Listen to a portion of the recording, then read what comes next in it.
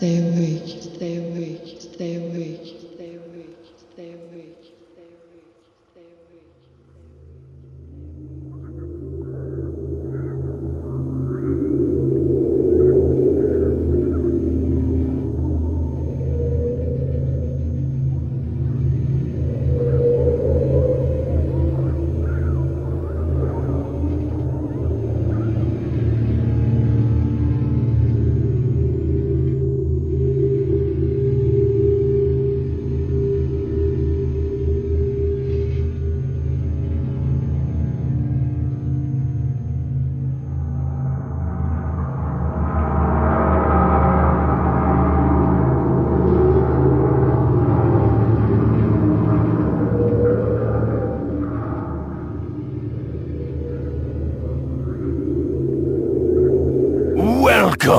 Muy buenas a todos, niños y niñas, grandes y mayores, viejos y viejas, al nuevo podcast del año, al podcast de Stay Awake, el mejor podcast de la historia.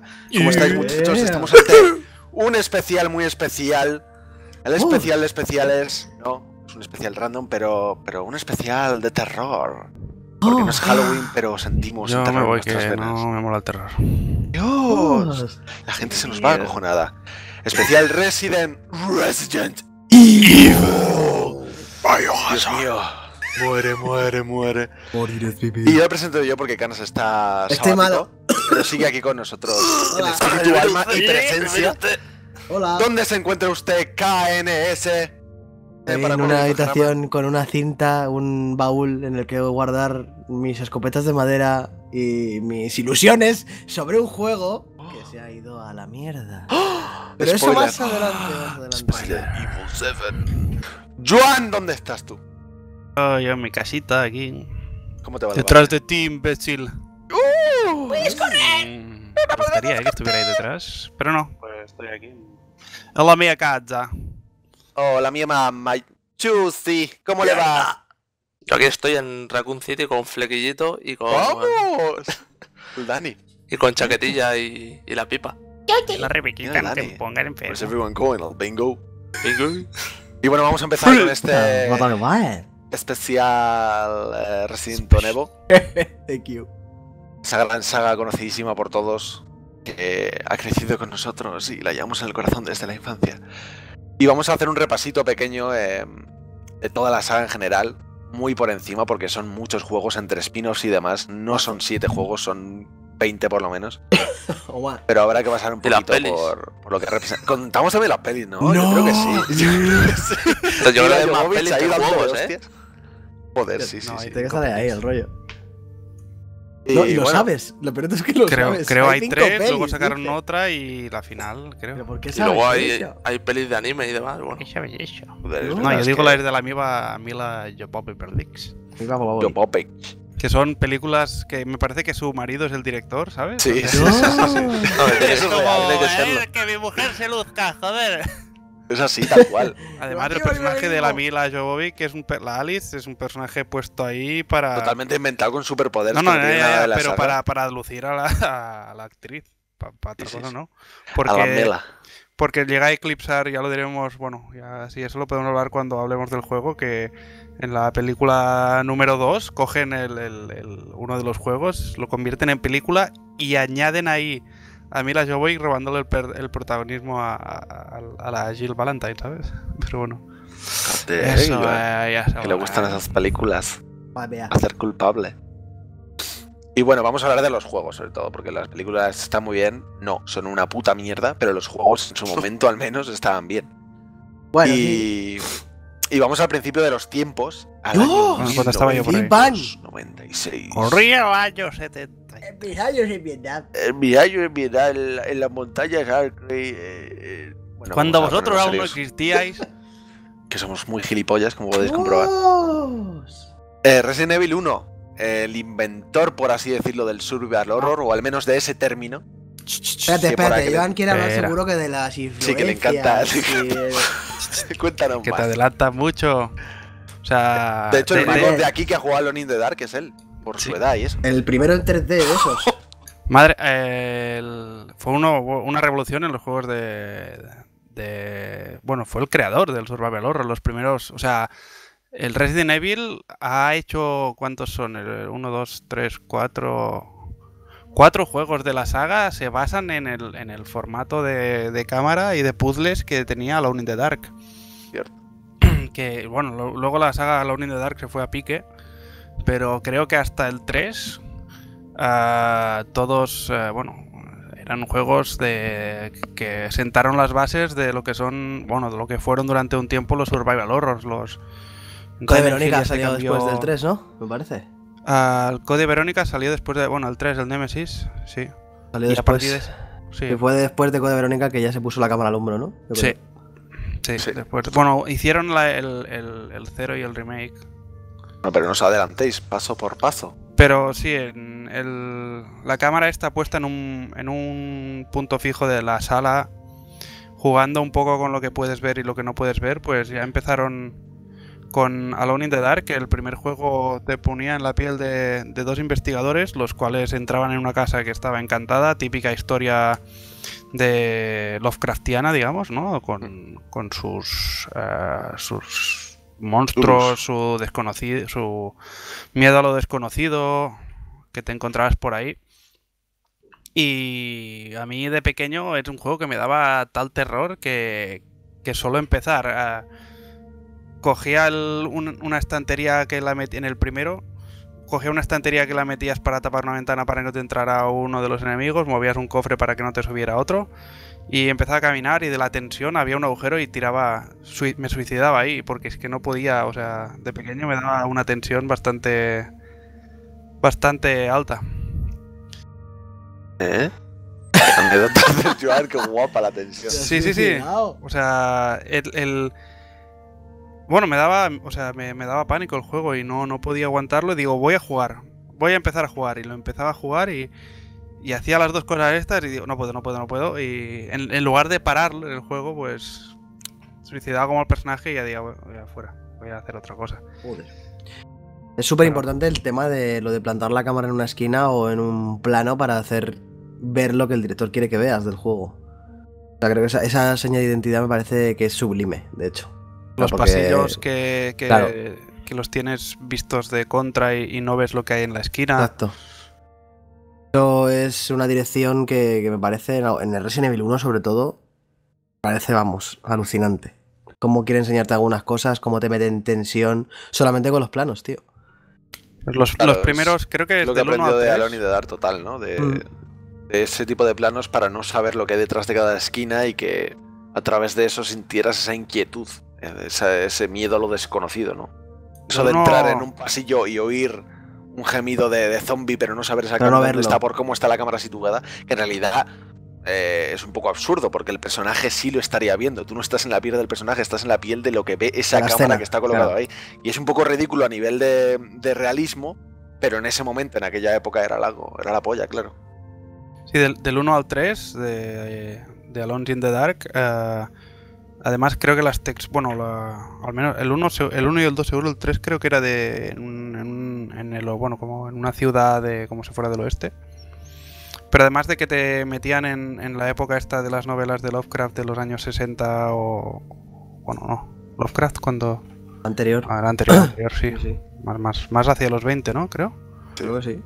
Sí, y pues te metían esa- esos monstruos, bueno, esos monstruos estos eh, como Zulu, ¿sabes? El, el- el- el miedo primigenio que, existe por ahí y las texturas eran, bueno, eran mapa- mapeados con las texturas sólidas, tampoco había mucho mucho detalle y, es una cosa que en, cuando, cuando hablemos de Resident Evil, en Resident Evil se, se pulió bastante a nivel de texturizado de las, de las cosas.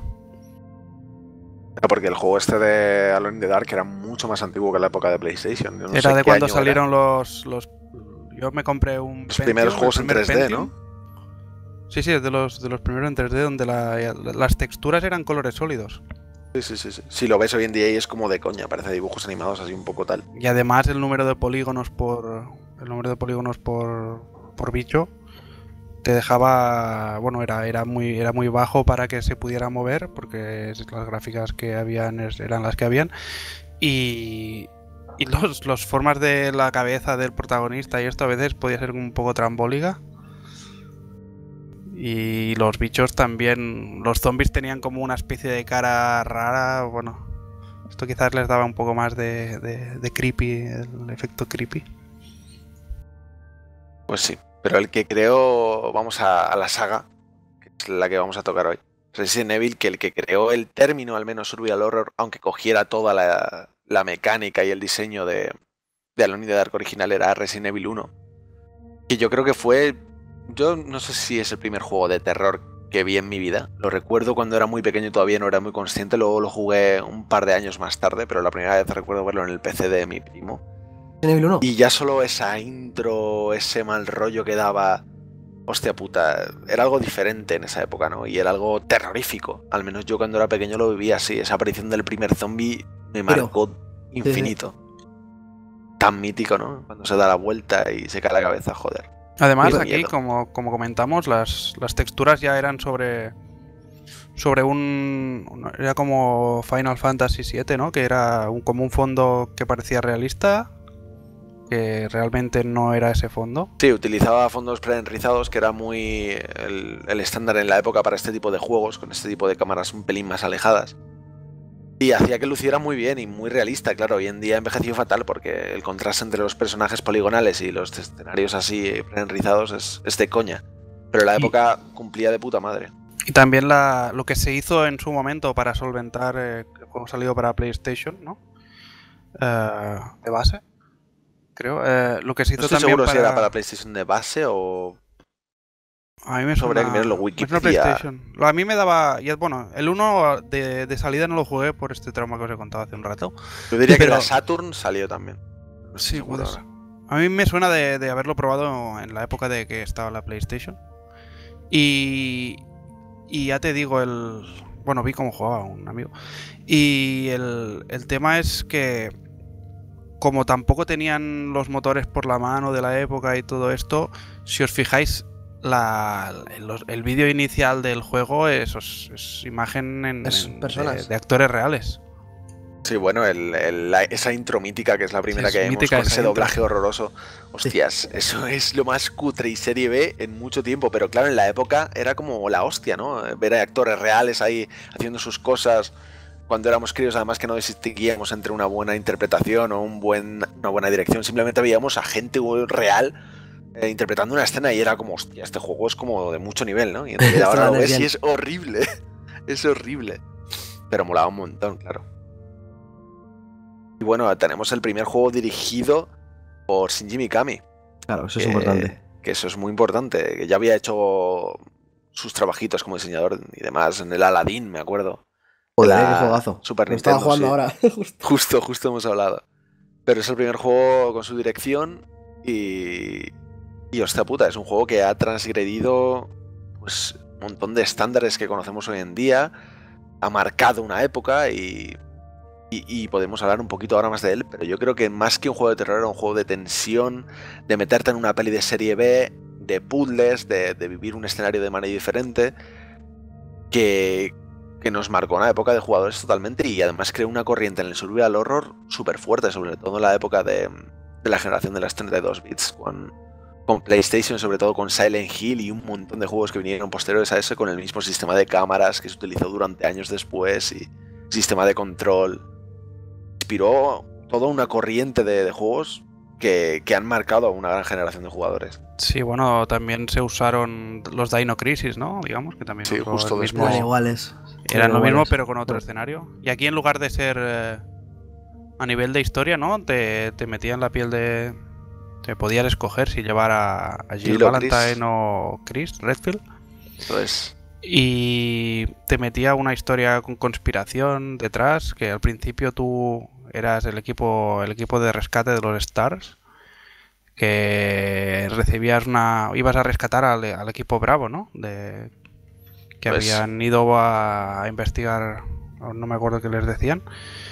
Y los asesinatos en, en las montañas. Sí, vas, vas por ahí al principio lo que te aparece, que no sabes lo que vas a jugar. la pri- Bueno, si no, bueno, si has visto vídeos así, pero al principio que la puerta que entraban corriendo que les perseguían los perros y luego no podía salir Qué por mítico. la puerta. Los putos perros. Qué miedo me daban. Y What el. y el tío que luego hay el- la escena mítica esa de cuando vas avanzando que te encuentras uno del equipo de Stars que está, o el cadáver de un equipo de Stars con otro encima, que es uno de los zombies. Sí, la escena está mítica. la escena mítica del, del zombie que se gira. Pues son, son cosas que, que ese juego te planteaba. Y, y ya te iba metiendo un poco en el, en el bueno, te presentaba a unos personajes sólidos digamos con su historia más que en la época sí. más que bueno sí en la época tampoco había mucho más pero digo más que los investigadores de de los Alone in the Darks te ya metía un poco de trasfondo a los personajes porque ya tenían supongo yo cierta idea si esto funcionase de, de proseguir con la saga como han hecho y además el, el la conspiración de detrás de Umbrella de metieron ¿no? el juego se llama Biohazard pero no Mm. por no por porque Japón. los japoneses fueron así de pues vamos a llamarlo Biohazard sino por el por el hecho del, del virus del virus T que marcó bueno que ha marcado los juegos hasta hasta el code Verónica no Bueno, luego lo metían por ahí, luego pero Umbrella por ahí que es más ¿no? los puntos de uniones que han ido teniendo los juegos que es la, con- la, la- la corporación Umbrella y, y los personajes protagonistas que han ido pasando por el juego claro, todo es muy serie B, muy eh, inspirándose Sí, sí, sí. en esas películas de la época con los zombies y sobre todo con la conspiración y la amenaza biológica, utilizar esas armas bioquímicas eh, a modo de zombies y de, y de epidemia global y de monstruos como el Licker y, el- y todos estos. Que en, Bueno. en la época era la polla, la verdad, nos encantaba a todos. la presentación del Hunter por ejemplo El también puto Hunter, sí. Que el Licker ya es más de, del 2 ¿no? El 2. El Licker es la en- primera en que el- salió en el 2, el Hunter era del 1 y, el Hunter, más, pero el. Hunter yo recuerdo que, que estás ahí, llegas a cierto momento de, bueno, estás yendo por un pasillo, ¿no? Y de golpe ponen la cámara como en primera persona del Hunter que va pegando saltos, Sí. que va hacia donde estás tú y dices, Dios, ¿qué coño está viniendo hacia mí? Un miedo, luego lo ves, es una rana con unas garras Que te Muy saltaba grandes, y te pero- voy a decapitar con un toque. Pero en el momento acojonaba mucho. Molaba mucho en esa época los juegos de terror porque como todo era muy poligonal y se veía, entre comillas, regular, tu imaginación hacía el resto y daba como más mal rollo, ¿no? Era muy mal rollero. Tu puta imaginación no tenía límites, claro. Pasaba mucho también con Silent Hill, recuerdo. Luego los, los- el sistema de guardado que también marcó Uf, sí. gran parte de la saga, ¿no? Y también ha marcado el, el, el 7. Sí, el- yo creo que la base del diseño es esa, el hacerte sentir muy indefenso, muy al- contra las cuerdas, en el sentido de tener pocas balas y tener que contar con ellas, tener Tu que... punto de referencia ser la habitación y tener que partir de él y siempre tenerlo en cuenta a, a lo lejos que es. te vas a ir. y- hacerte el mapa en, en la Claro. cabeza un poco también, dónde está cada objeto, eh, qué puedo dejar aquí porque no me cabe más en el inventario, toda esa gestión del inventario, de, de saber manejar el gran puzzle que es la casa y de contar cada bala porque los enemigos te superan en, en todos los sentidos, eso es lo que hacía que las pasases putas más por el miedo que daba, que daba el miedo por la ambientación más que por otra cosa. Era el, el- la sensación de agobio, de tensión, de saber que le estabas pasando putas, claro. Yo creo que el remake lo llegó incluso a conseguir más. Sí, el remake es el mejor remake de la historia de los videojuegos, se sabe. Sí, sí, sin duda. O sea, más que ser un remaster o un remake como han habido muchos, aportó algún detalle que, que hacía que la tensión fuera mayor. Evidentemente. Pero bueno, ya llegaremos a esa época de Q. Si queréis podemos pasar a, a Resident Evil 2, que para muchos es el, el favorito de... Joder. Yo mí, siempre, siempre, siempre contaré la historia que os he contado mil veces de que yo no tenía PlayStation en esa época y tenía Nintendo 64. Mm. Y ese juego llegó a salir. No sé si acabó saliendo un Resident en 64. No sé si en España salió No, Resident no Evil me 2. suena. Me suena que algún Resident acabó saliendo en 64. Puede ser, no. no. Pero yo no podía hacerme con él, claro, porque no tenía la consola PlayStation 1. Y me acuerdo que me compraba las guías, tío, de Resident Evil 2. Sí, yo solo también para lo leerlas. Con solo para- 64 lo hacía así. Claro, ver, ver las, los, los diseños, la guía de los mapas y tal. Y yo decía. Pero las "Joder, revistas por- de la por- época, ¿no? No, no, en plan, no es la típica guía que venía con Nintendo Action o Playmania. o- era la guía oficial de Resident Evil 2, tío. Y, y me acuerdo que yo decía, joder, macho, porque no puedo jugar esta mierda, me flipa, tío. En plan, los Es verdad que la saga ha estado muy vinculada a PlayStation, pero luego ha salido en todas las plataformas. Capcom siempre ha sido un poco putilla en este sentido. Y estoy leyendo aquí que sí que salió en Nintendo 64, tío. Lo Me recuerdo, de sí, lo recuerdo, lo recuerdo. Saldría muy posterior o algo, Sí, porque yo me tenía como que- muy en la cabeza que era exclusivo de Play. Un par de añitos después, es posible, no lo sé. Sobre el 98, no, no, sobre el 99 por ahí a lo mejor, ¿eh? no lo sé. Sí, sí, es posible. Y Resident Evil, ¿no? A nivel de historia nos, nos expandía de, de la casa, de la mansión donde pasaba todo del 1, nos movía a, a la ciudad donde pertenecía esa, esa mansión que estaba apartada, pero la ciudad más próxima que era Raccoon City. Sí, tío, mitiquísima. Y Manejando a Leon, ¿no? de, y de gancho nos, nos presentaba a Leon, que, que era un policía nuevo que había llegado. Pelo muy característico. Claro, pero el rollito de esto es lo que mola es lo del doble CD. Que Se os ha olvidado era- un pequeño detalle del principio. Vengo solo a decir esto. El director de Resident Evil 2 fue. ¡Ojo! Camilla. Ahí está, eh, Camilla, barriendo eh. para casa. Ya podéis continuar. Todos los grandes han estado en la saga, ¿eh? Después grandes japoneses. detalle de Camilla, yo quería decir que esto molaba porque era el rollete este que había en PlayStation 1 con los diferentes CDs en según qué temática o en según qué modalidad de juego, porque el, un CD era para, para la campaña de Leon, para la historia de Leon, y el otro CD para el de Claire. Y me recuerda mucho también al tema de Gran Turismo, no sé si os acordáis que estaba el CD de arcade y el CD de, de modo carrera de toda la vida. Y bueno, no había un montón de juegos con Y había varios. dos. CDs eh, o más incluso, sí. Y, eso- y nos metía el gancho de Claire, ¿no? Que la has nombrado tú, de la campaña, que, que era la hermana de, de Chris, uno de los protagonistas es. de. Uno de los protagonistas del, del primero. juego anterior. Y bueno, variaban un montón de situaciones además con cada personaje, lo que lo hacía muy rejugable porque no era muy largo.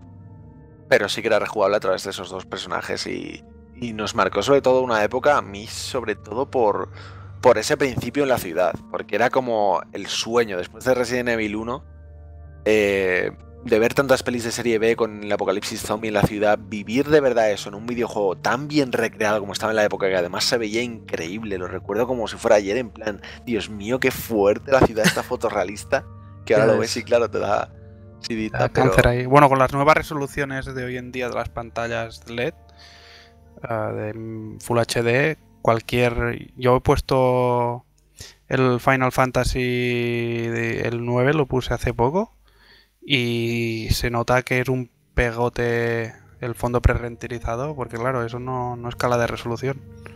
Claro. Eso Así me que está pasando a mí ahora justo. eso- estoy jugando eso a, a Banjo Kazooie, tío.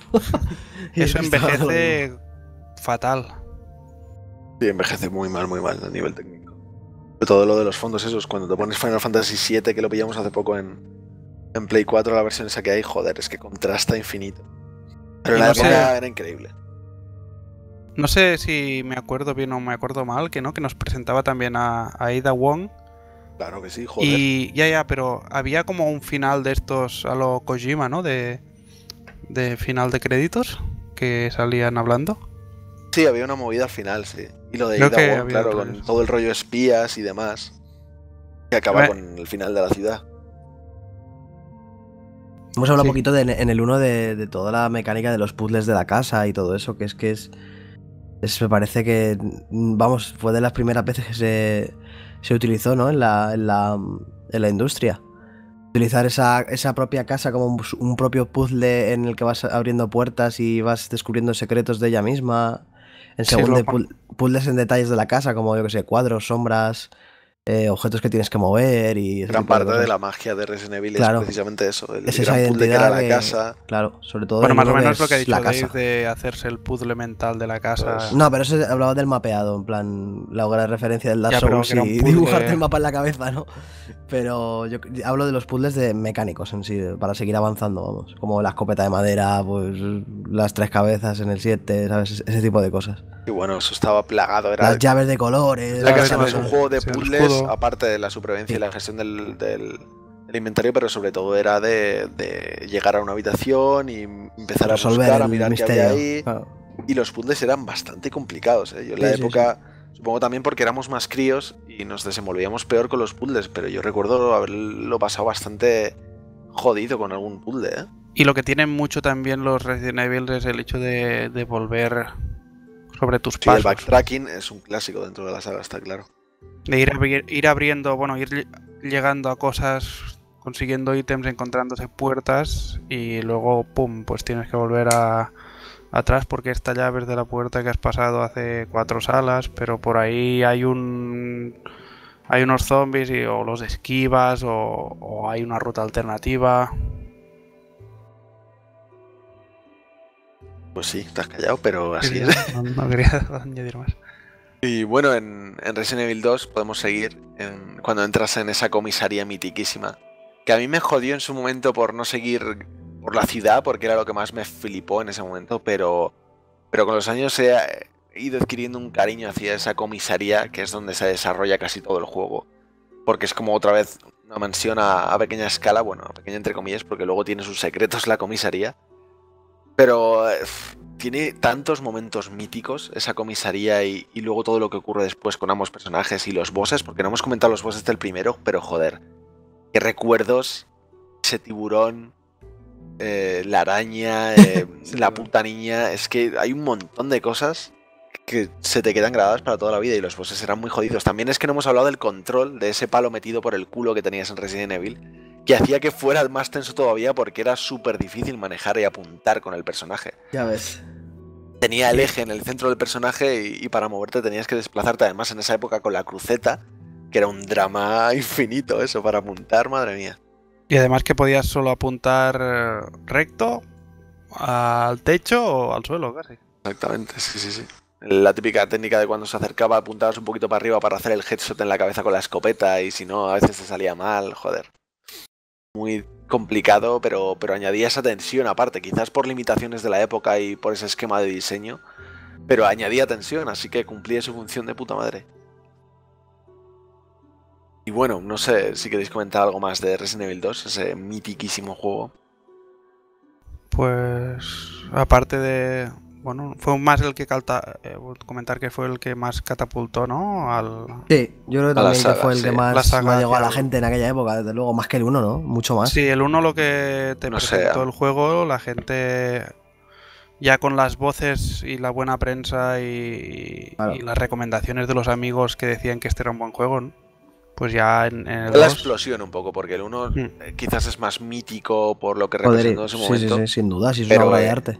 Además. Pero el 2 es como la explosión de la saga a todos los niveles y yo creo la que más expansión de todo el concepto del primero. Claro, y más presupuesto. Recordemos hecho- también que empezó a desarrollarse con otra dirección, con otros personajes y bueno, teníamos el, el- el mítico que todavía podéis encontrar vídeos en YouTube del Resident Evil 1.5, que era lo que iba a ser el 2 y que cambiaron por completo con la entrada de Camilla y, y Mikami que no estaban muy de acuerdo en, en la dirección que estaba tomando la serie.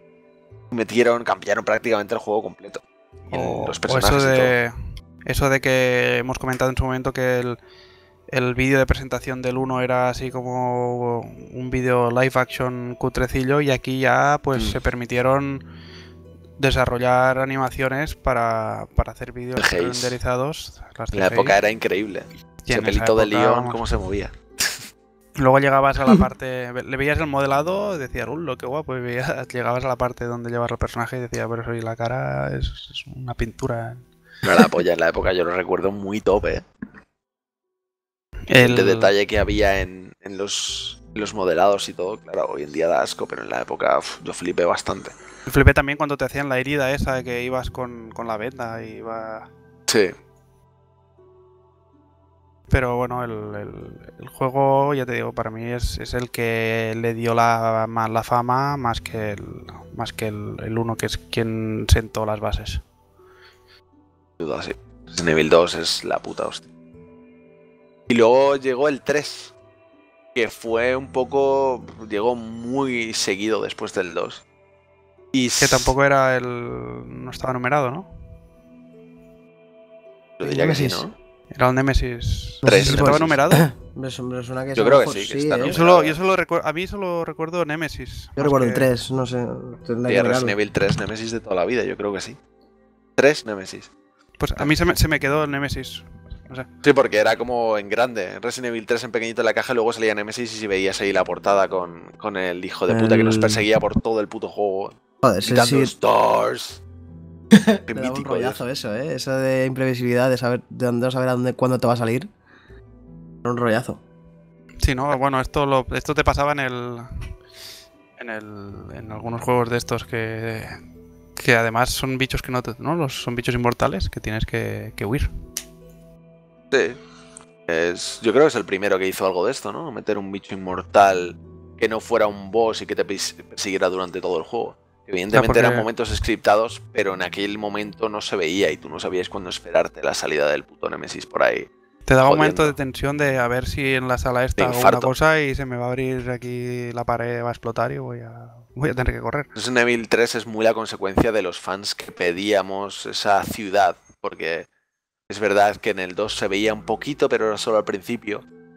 Y Resident Evil 3 es completamente en la ciudad y, y tiene menos curro por ello también, porque desarrolla prácticamente a nivel argumental a la vez del, del 2. Si fue al mismo tiempo, digamos, bueno, al mismo tiempo digo, si fue tan, tan seguido, es normal que, que compartieran que compartieran muchas cosas. Claro, y por eso a lo mejor es menos especial que el 2 y el 1, ¿no? Pero bueno, la historia siguiendo con Jill otra vez, reencontrarse con ese personaje, además que en ese momento era muy sexy con esa sudadera atada a la cintura, joder, Es verdad, ¿eh? estaba enamorado Sí, sí. yo.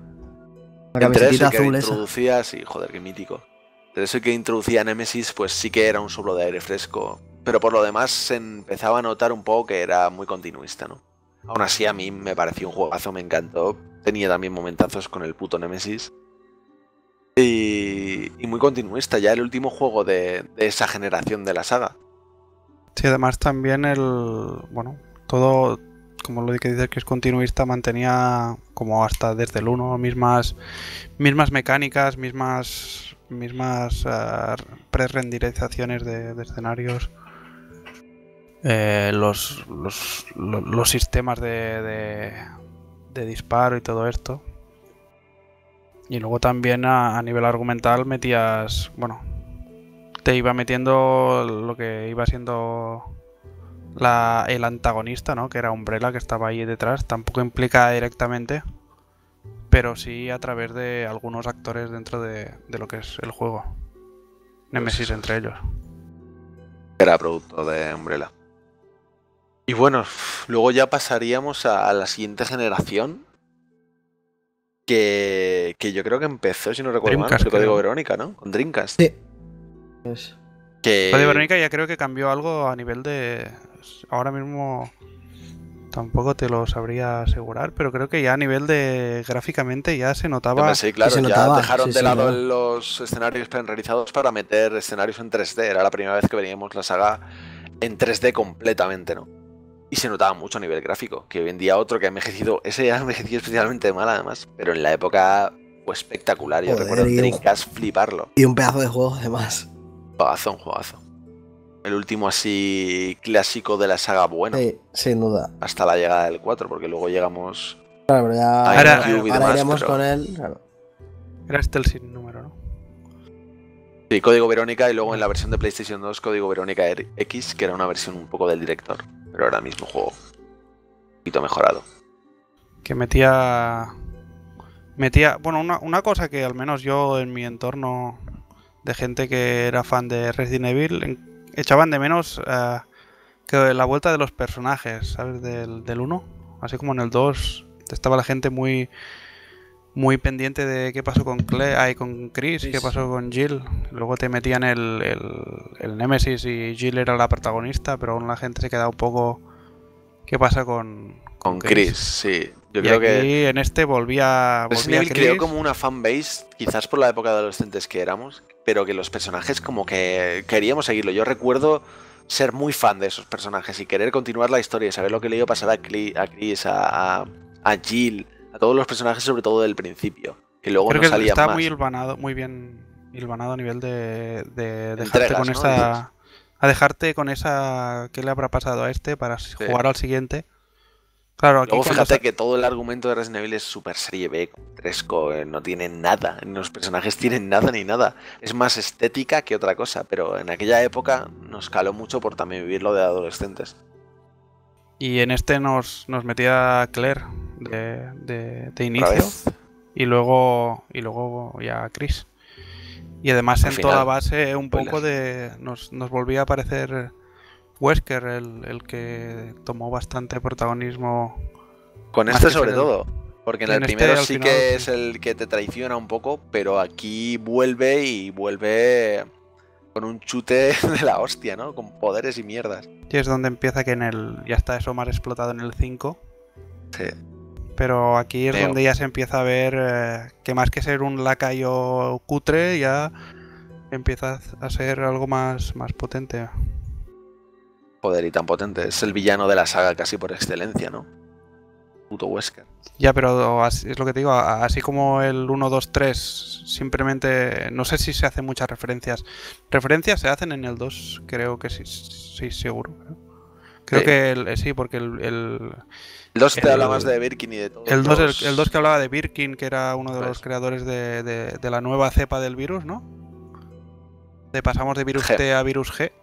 Pues, Ah, pues había, me parece que había intercambio de correos o intercambio de, veías inter- un diálogo intercambiado entre entre ellos dos, entre Wesker Molaba y- mucho cómo hilaban la narrativa Birkin. en ese sentido, de encontrar eso, esos correos y ese Habían- tipo de, de, de documentos para enterarte un poquito del guion y cómo hilvanaba entre entregas y cómo ibas montándote, o la gente o el fan se iba montando un propio puzzle para saber qué pasaba con el virus, qué pasaba con estos personajes, quién era el que mandaba aquí, cómo se infectó todo por primera vez. Y eso daba mucho juego, recuerdo en la fanbase de la época, que yo estaba bastante metido por aquel entonces. Era la hostia, ¿no? Era como muy de Sí, porque colaborar Birkin, con la gente para crear el gran argumento. Birkin, por ejemplo, creo que no está muy alineado con con eh, Umbrella. Sí, de hecho no. Hecho, estaba Hacía en las, contra por lo sí, que pasa. hacía las cosas también por su por su hija o por Sí, por. Sí, creo que sí. La hija de la niña la niña que, que te llevará al final con con. Terry, ¿no? Era. No, no me acuerdo el nombre. Ah, que sí.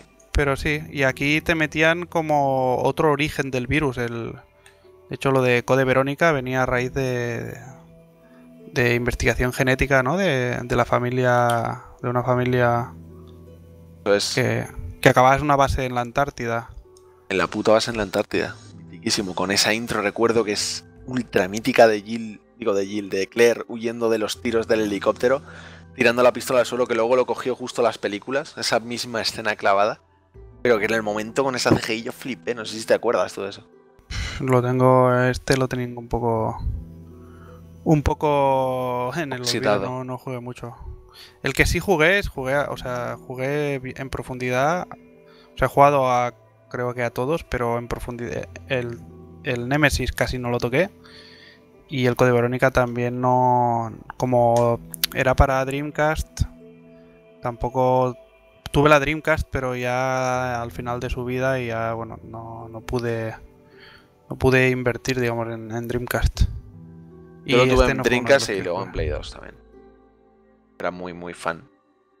Y es lo que tú dices, luego vas a la a aquella isla, a la isla Rockford, ¿eh? me parece. Mm, Y, no me acuerdo. y, y te enterabas de toda esta historia de la familia, de la mansión de los Ashford y, y cuando te metías en, en los dos hermanos eh, con doble personalidad, la hermana travestida, bueno, tenía un- unas cosas ahí bastante, bastante graciosas, ¿eh? Sí, sí, sí, sí, sí. Y molaba mucho, molaba mucho, sobre todo el cambio final pidiéndote a Chris, enfrentándote a Wesker con el Harrier y todo esto. Era muy épico, lo recuerdo, un juego como muy grande. Para no ser eh, una entrega numerada de la saga, a mí me parece Resident Evil el 4 con mayúsculas, ¿no? En esa época, que luego no se numeró, pero a nivel argumental, Parecía un número, ¿no? Sí. sí, sí, sí, sí. Y luego de esto vinieron los, bueno, antes de, de el reboot, ¿no? De la reinvención de la saga, vinieron lo- los juegos de Cube.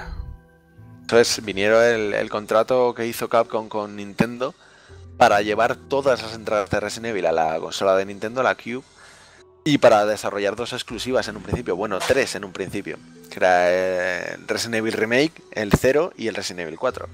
Porque el, el Resident Evil Remake para mí es. Dentro de la industria del videojuego, para mí es el remake. Hasta ahora Sin duda. no, sigue siéndolo, ¿eh? no ha habido. A día de hoy sigue siéndolo. Sí, le digo, pues, hasta ahora no ha habido ningún El ejemplo a seguir. remake así que digas. Bueno, que haya aportado lo que haya aportado. Porque aparte de, de la renovación gráfica, que los entornos ya no parecían un croma, ¿sabes? Eran pre-renderizados, ojo, eh, volvía a eso. Sí, sí, eh, sí, pero tenía, tenías elementos. Eran Pero era fotorrealista en la época. Foto- Joder, que tenía- tenemos ahora el de Play 4 que ha salido, que es el mismo que el de QB. Y, y es que. pff, o sea, es En impresionante. la época, eh, gráficamente, yo no había visto nada igual. Yo creo que junto a Rogue Squadron eran los juegos más punteros gráficamente de la época. Claro, pero digo, el exagerados. primer Resident Evil, el de PSX, digamos que los modelados de los personajes cantan sobre, sobre el fondo prerenderizado. Sí. En cambio, y por eso ha envejecido tan mal. Porque cuando te metes con un algo que, que suba, que rescale la. que rescale la. la de esto, con la resolución. eh, los, los modelados 3D aún se rescalan un poco bien, pero es que lo que es el, la fo- la- el fondo de imagen es, es, es asqueroso. Rogue Leader, decía Dave, ¿no? Que el Rogue Squadron salió para 64. Sí, eso. Se veía Y, pelotas, ¿eh? Y bueno, el, el tema es ese, que, que estaba el personaje integrado perfectamente en el, en el entorno. Increíble. Y, Que no y da además, es verdad. Es que es increíble, ¿eh? Es que lo ves ahora, tío, es que se te caen los cojones al suelo. claro, Claro, claro, pero es que al ahora contrario del bien. otro, ¿sabes? Todavía aguantó el paso del tiempo, pero en la época Claro, claro, juro que no me lo podía creer. Era algo increíble. Era Luego añadieron- ¿pero esto? Hasta añadieron nuevas ¿Hemos llegado hasta mecánicas. aquí? la mecánica esta de los. Claro, en el. Por la potencia de la consola en el Resident Evil, dejar eh, cadáveres en, en, en las diferentes salas y todo esto implica potencia de cálculo que, Claro. que, no, que no les interesa por la potencia necesaria. Pero aquí con la QE pudieron añadir la mecánica de los cadáveres que tienes que quemar si no se levantan otra vez. Qué bueno. Y eso, y eso todo por, o sea. Todo gracias a la potencia de una consola. Que normalmente la gente solo asocia potencia con gráficos. Y no, potencia te da. Pero es que eran esas épocas que la potencia de gen- una generación a otra era un salto increíble. Sí. Porque hoy en día pues no hay tanto salto, más allá de detalles. Claro, pero e- es eso que digo. Cuando tú hablas de una consola potente, no solo estás hablando de la capacidad gráfica de la consola, sino estás hablando de. Ha pasado hace poco con Trico PlayStation 3, joder. Cierto. Sino, bueno, pues eso, la. La, la potencia esta de, de mantener los, los cadáveres en, en pantalla sin que, sin que los tengas que hacer desaparecer para liberar memoria. Y, No aportaba algo jugable, quieres decir. y aportar algo jugable, ¿sabes? Más que que se vea mejor, porque mejor se veía, pero además le daba este, este, este juego. Y cómo está rediseñado todo, lo de cuidado que está, es que era un aliciente para los que ya habíamos jugado al original y era la mejor forma de entrar en la saga, tío, con, con esa maravilla. Era tan. Además perfecto. habían, habían cambiado, ¿no? La, la- el vídeo inicial de, Sí, claro, de claro. No, no podían ahí. dejar eso, no podían Hombre, dejarlo. tío, hubiera sido un, hubiera sido un homenaje bien bueno. Pero el, también el, el- la escena mítica del cuando se gira el zombie. Que luego cuando, cuando vuelves a, vi- a ver la, la- la versión original de PlayStation, que tú cuando la viste te explotaba la cabeza, o dices, oh Dios, parece Sí. real. Pues lo veías esta y la comparabas con la otra y decías, Dios, De coña, ¿eh? De coña. asquísimo. Pero asquísimo daba, sí, Pero sí, está súper bien integrada. Además, el cambio de cámara también está mucho mejor porque el- se metía como una especie de vídeo la escena esa de que se giraba, ¿no? El zombie que te recortaba la pantalla. Sí. Porque no podían como hacerlo sobre el mismo. sobre la misma. O sea, Claro, sin- claro, sin era una cambiar, CGI sin en la época. CGI. Y llegaba aquí, ¿no? Y te lo metía con imagen, con motor de juego. Y motor del juego, sí, sí. Increíble Una- se veía además. Las, Vale. las pasar por las puertas también redujeron la carga de tiempo, ¿no? Me suena. Puede ser, Sí, pero seguían ahí, evidentemente ¿no? porque, la época es- era muy tocho, pero sí que seguían ahí, eran un coñazo también. Seguían siendo un coñazo, ¿eh? Lo recuerdo tedioso de cojones eso.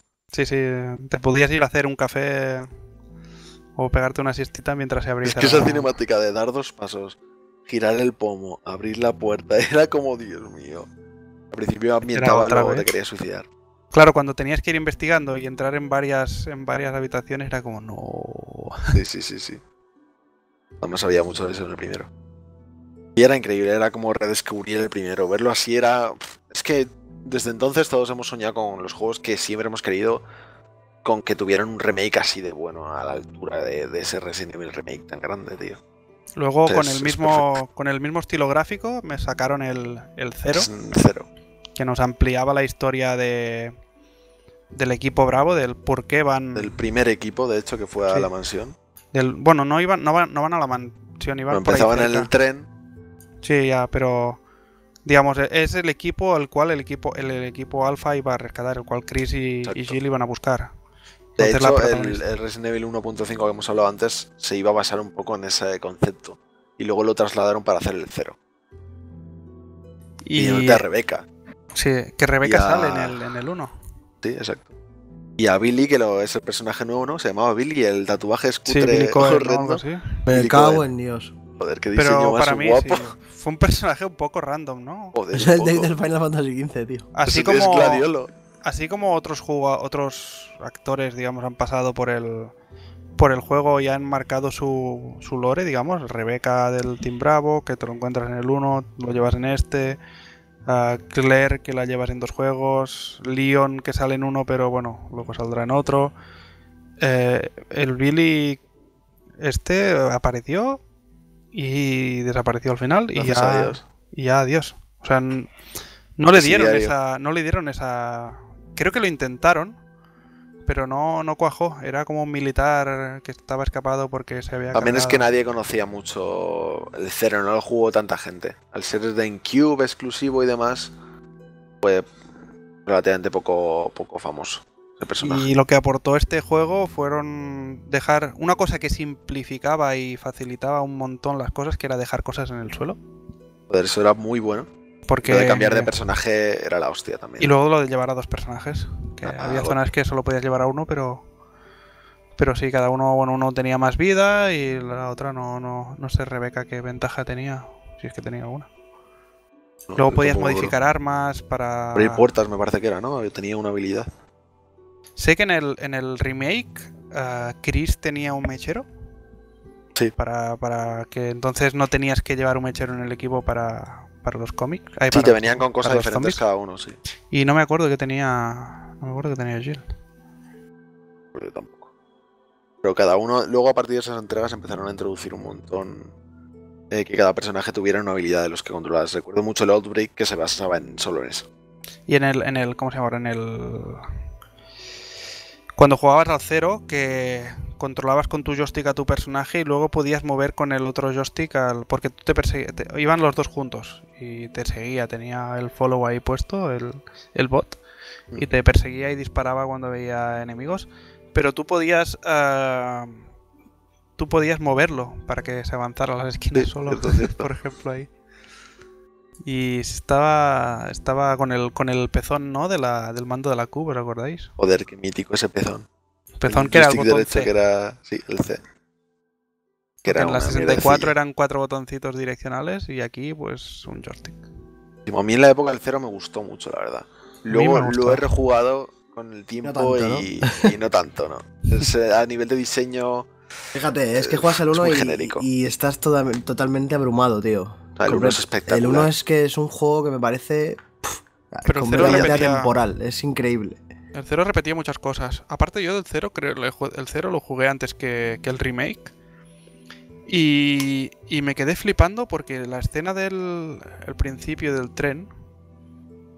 ah, Sí. Había un momento que, claro, tú al principio, en los anteriores, cuando un zombie estaba en el suelo y se iba a levantar, o sea, er- era, era muy. como era un. como destacaba mucho de- del fondo pre-renderizado, pues veías que era un. que era un bicho y dices, este se levanta. Ah, me y- encantaba eso en el tren, sí. Y en cambio en el tren estaba tan currado Que no que sabías cuál era el que no se sabías levantaba. quién se, si- quién se levantaba o no. Eso Y hay un momento que el tren se pone en marcha, que hay uno de los cadáveres que están ahí tirados en el tren que se, va- se le balancea el brazo, Sí, pero sí, no se levanta. y, pero dices. "Eh, este se va, este, ¿sabes? Este se mueve, se tiene Y que ese es ser", del no. escenario, de hecho. Está ¿Mm? muy bien. Es que el- lo mejor del, del cero precisamente es el principio, tío. El- la sí, parte porque del luego está pecaba muy de, bien. de continuismo. Porque Luego es repite mucho el esquema Sí. del primero, pero mal y con un diseño menos inspirado y está peor. Exacto, eres Pasa mucho de todas maneras con la saga y yo creo que luego lo vamos a hablar todos. El principio de los Resident Evil es bastante mejor que luego el final, que se desmadra un poco, que suele pasar mucho con los japoneses. Por Sí, querer lo- lo pensaba el otro hacerlo día, todo tío. más grande. Es como Claro. ir a lo grande porque es el final y tiene que... Querer abarcar loco. tantas cosas y, y- y acabar por no Y perfeccionarlo bien. Y Claro, claro, claro. intentan abarcar tantas cosas que no profundizan en lo que deben y, Exacto. y acaba saliendo mal tanto en el cine, que lo hablábamos el otro día, ¿te acuerdas? Sí, es Como que en- tienen que sorprender, porque Sí, ya en la recta sí. final y tienen que decir, pero sorprenden para mal, en vez de continuar por esa línea a lo mejor más intimista o lo que sea, en Resident Evil 7 lo vamos a dar. O sobre Lo todo hacen a lo exagerado y a lo... Ya que lo estamos. sorprender pues por sorprender, exagerar por exagerar y hacerlo más grande porque sí.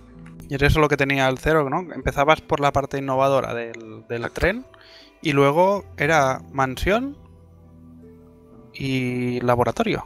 Algo de todos los Resident Evil, esto que digo. eh. Quizás el primero es el que más recuerdo que no le pasa eso. Bueno, el Pero segundo se también. mantiene nuevo. muy bien en, en El segundo, la juego, recta ¿eh? final también es espectacular, pero el primero. Es verdad que vas a laboratorios y demás, y, pero, pero sí que se mantiene mejor. El primero y el segundo son los que mejor se Creo mantienen. que el primero de, de Vale, los que yo he podido jugar es el que más se ha mantenido ahí en el ritmo bien. Mm, Y el 2 y el 2 también, que es goti. Code Verónica sí que se iba un poco al final también, ¿eh? También, también, vamos, que si se le iba Se al va ahí de varitas bastante. Madre mía. Tía parkour el Wesker, el cabrón. es que es, es puro Japón, tío. Es puro Japón. Total. joder. Pero me encanta eso también. Tiene un rollito eso muy Resident Evil que también tiene su, su aquel. Y bueno, vamos a pasar al. Detrás la de ti, revolución. imbécil. a la Mira que revolución Chus la está, Chus está preparado ahí a, a- a liberar, liberar al Kraken. Claro, yo salgo ya. Eh, la Este es con el revolución que- total, ¿eh? Me inicié en la saga, vamos.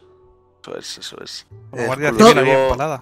Exclusivo Resident temporal de principio GameCube. de Resident Evil, digo, de GameCube, exactamente. Eso es lo que se iba a preguntar. ¿En qué años exactamente? Que no caigo ahora mismo. 2004. 2004, sí, 2004. Creo que me suena que era. 2004. Se GameCube, ¿no? anunció mucho antes. Además, ya eh, pensaba ser revolucionario. Me acuerdo de los primeros vídeos que, que había con unos gráficos espectaculares. Que iba a ser un juego de fantasmas. Manejabas a Leon igual con la chaquetita, pero los el, el diseño del videojuego seguía la misma línea de los anteriores con escenarios así preenrizados con esas cámaras fijas, solo que los enemigos eran fantasmas y, y estabas en una mansión como muy... Era la hostia visualmente, eh, Joder. pero- Sí que se Pero- fue de madre el concepto. Muchísimo. Llegó ahí Mikami y dijo, ¿esto qué coño es? ¿Esto qué mierda es? Vamos a, vámonos a Galicia, a Galicia de, de Sudamérica. ¿Verdad? Lo dijo, ¿no? Que se había inspirado en España. Que Claro, Eran hecho- Asturias, ¿no? Coño, coño, un si, si eres más un con guardia civil. muy chungo, ¿eh?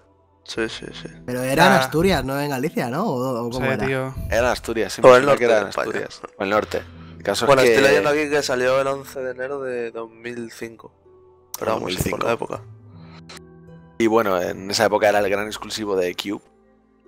Era el juego Sí. que mejor se veía ever, porque yo no había visto una cosa igual jamás. Y era el juego que revolucionó los juegos de acción como los conocemos incluso hoy en día. Porque Mikami otra vez se sacó la polla después de Resident Evil 1 y dijo, mira, aquí he llegado yo, os voy a cambiar todo el concepto de lo que creéis que es Resident Evil, tanto a nivel temático como a nivel jugable, y os meto el mejor juego de acción de la historia en aquella época y uno de los mejores hoy en día todavía, ¿no? Sí, eh, me parece que es eso, el típico juego que, que revoluciona el género y, y los demás juegos que salen salen después de él pues tienen un espejo donde mirarse, ¿no? Que, que es este juego. Pero Y bueno, so- Silent Hill. Sobre todo la, cámara, sí. ¿no? La- Claro. las, donde se coloca la cámara y cómo apuntas y demás. Eso es. Vamos, fue, fue increíble. O sea, El láser in-game, la cámara Sí. al hombro, eso luego se copió por todas partes. Y la Sí, nueva sí. generación influyó muchísimo. si no, no. ahora mismo a lo mejor un Gears of War no existiría, existiría, o es un. Uncharted. Total. Y me parece por eso una revolución increíble en el género. Incluso a De- nivel de ritmo y de diseño, de, las situaciones que te de- crea. Joder, es que son situaciones como muy espectaculares, muy de esta época. Sí. Qué bueno. Además, recuerdo que todavía no, estaban este, eh, normalizadas ¿no? las ediciones especiales, pero salió un mando de GameCube. Era una Eh, motosierra. ¿os ¿Recordáis? El mando sierra este de Qué grande. Yo- ¿Quién, Que, quién tenía los joder. cojones a jugar con eso, sabes? Ya, Te digo yo, ¿cómo coño se jugaba eso? eso era para dejarlo ahí en una estantería y no, no tocarlo, por si te, te, te rebanas el brazo. No, para, Y- para, para la, el revalorización y venderlo, ¿no? Como Jorge. Dios. ¡Dios! Y eso, re- recuerdo que, joder, la ambientación, sobre todo del principio, a mí me encantó. El rollo este de, de ir a un España. pueblo aquí abandonado, que, que ocurren cosas raras. Y totalmente hostil. A mí, la verdad es que me encantó. Y, además, por lo que habéis dicho, porque yo no, no empecé la saga desde el principio, eh, se va un poco, ¿no? De deja la ambientación esta de ciudad eh, po- posapocalíptica, por así decirlo, y laboratorio y demás, y entra en, en una ambientación un poco más, pues eso, de es un pueblo, ¿no? Una ciudad todo. Una ambientación nunca vista en videojuegos. Porque Eso ese es. rollo rural, Eso. desconocido, que coge mucho de la matanza de Texas y de todas estas Mm. películas de serie B también, pero por un rollo muy desconocido en el videojuego. Yo desde luego no había visto nada similar. Y coge todo lo que es Resident Evil y lo manda a tomar por culo, porque no hay nada del virus T, de zombies, no hay nada de ese diseño original, eh, porque todo estaba bien hacia la acción eh, orientado, ¿no? O sea, todo lo cambiaba, lo daba la vuelta, los enemigos cambiaban. eh, a nivel de guion solo la única conexión eran cositas raras por ahí a lo Sí, lejos. menciones de Tres Umbrella. personajes conocidos, eso sí, los personajes Bueno, los Krauser, mantenía, ¿no? pero- Por ahí. Sí, pero Krauser no era. Krauser creo que del Krauser no. Sale en el Es 4. inventado del en los 4. anteriores. Claro, claro, claro. Es Wesker el que está por allá que vuelve a joder, pero vamos. Bueno, pero Sale Wesker sale en, en la versión de Cube. O sea, luego salió la versión de Play. Y la versión de Play tenía un capítulo extra, digamos. Como un sí, pero ese es el capítulo de Ada Wong. El Sí, sí, sí, Ways. pero ahí Ah, en sí. el capítulo ese de Ada Wong es Sale un donde, poquito más. es donde meten más lo que es el, el juego de Umbrella y Wesker por ahí. Sí, porque de hecho, bueno, no hemos comentado anteriormente que salían también los modos mercenarios y demás, pero yo Sí. creo que de hecho lo que más salía Wesker era el modo mercenarios, nada más. Luego salía en una cinemática y ya está, en su silla mítica, controlándolo todo. Y es eso, a mí me parece una vuelta de tuerca a la saga, ¿no? Para intentar renovarse en una nueva generación. Y la verdad es que, joder, yo creo que les salió muy bien. Luego a lo mejor se les fue un poco de, de madre, ¿no? El rollo de acción, se pasaron. La verdad es que sí, hacia el final del juego estás otra vez. armado hasta los Sí, sí, dientes, sí. con una ametralladora ya no... ¿sabes? No, la- lo de La los isla, con la Gatling, eso era muy fuerte, ¿eh? un poco doloroso. Que, Sí, por pero- cierto, es lo que iba a mencionar yo, que, que- que fíjate que obra maestra de juego y que todo el mundo lo que recuerda de este juego sea ese maravilloso doblaje que tenía, tío. O sea, que no estemos hablando del doblaje de ese juego, que es lo más grande que hay. Sí, claro, a nosotros, bueno, a los hispanohablantes pues, los- nos- partíamos la polla. Pero Joder, esto lo a cogía los un americanos japonés. dirían Pero esto que guapo, déjalo, en ¿sabes? España todo es así, ¿sabes? Claro, Hablando lo cogía un japonés que no tenía ni papa de español y diría, Dios, ¿qué está diciendo? Es O sea, un idioma la- latín de, de la época tal. Y seguro que le fliparía, pero claro, Claro, nosotros claro. nos partimos la Además, la idea, la idea de mi ca- de, sí, de mi camino en principio era eh, que el jugador se encontrara en un ambiente extranjero hostil que no entendiera lo que dijeran Claro, y que era como estaban planeando cosas Ese que no choque de tú- ¿no? Exactamente. Pero claro, en España sí sabíamos lo que decían y era todo Claro. de coña. incluso como- nos sonaban, joder, las casas y todo, era, hostia, si esto parece el pueblo. Claro, claro, Al claro. pueblo donde ibas en verano con tus padres, el es pitín. igual.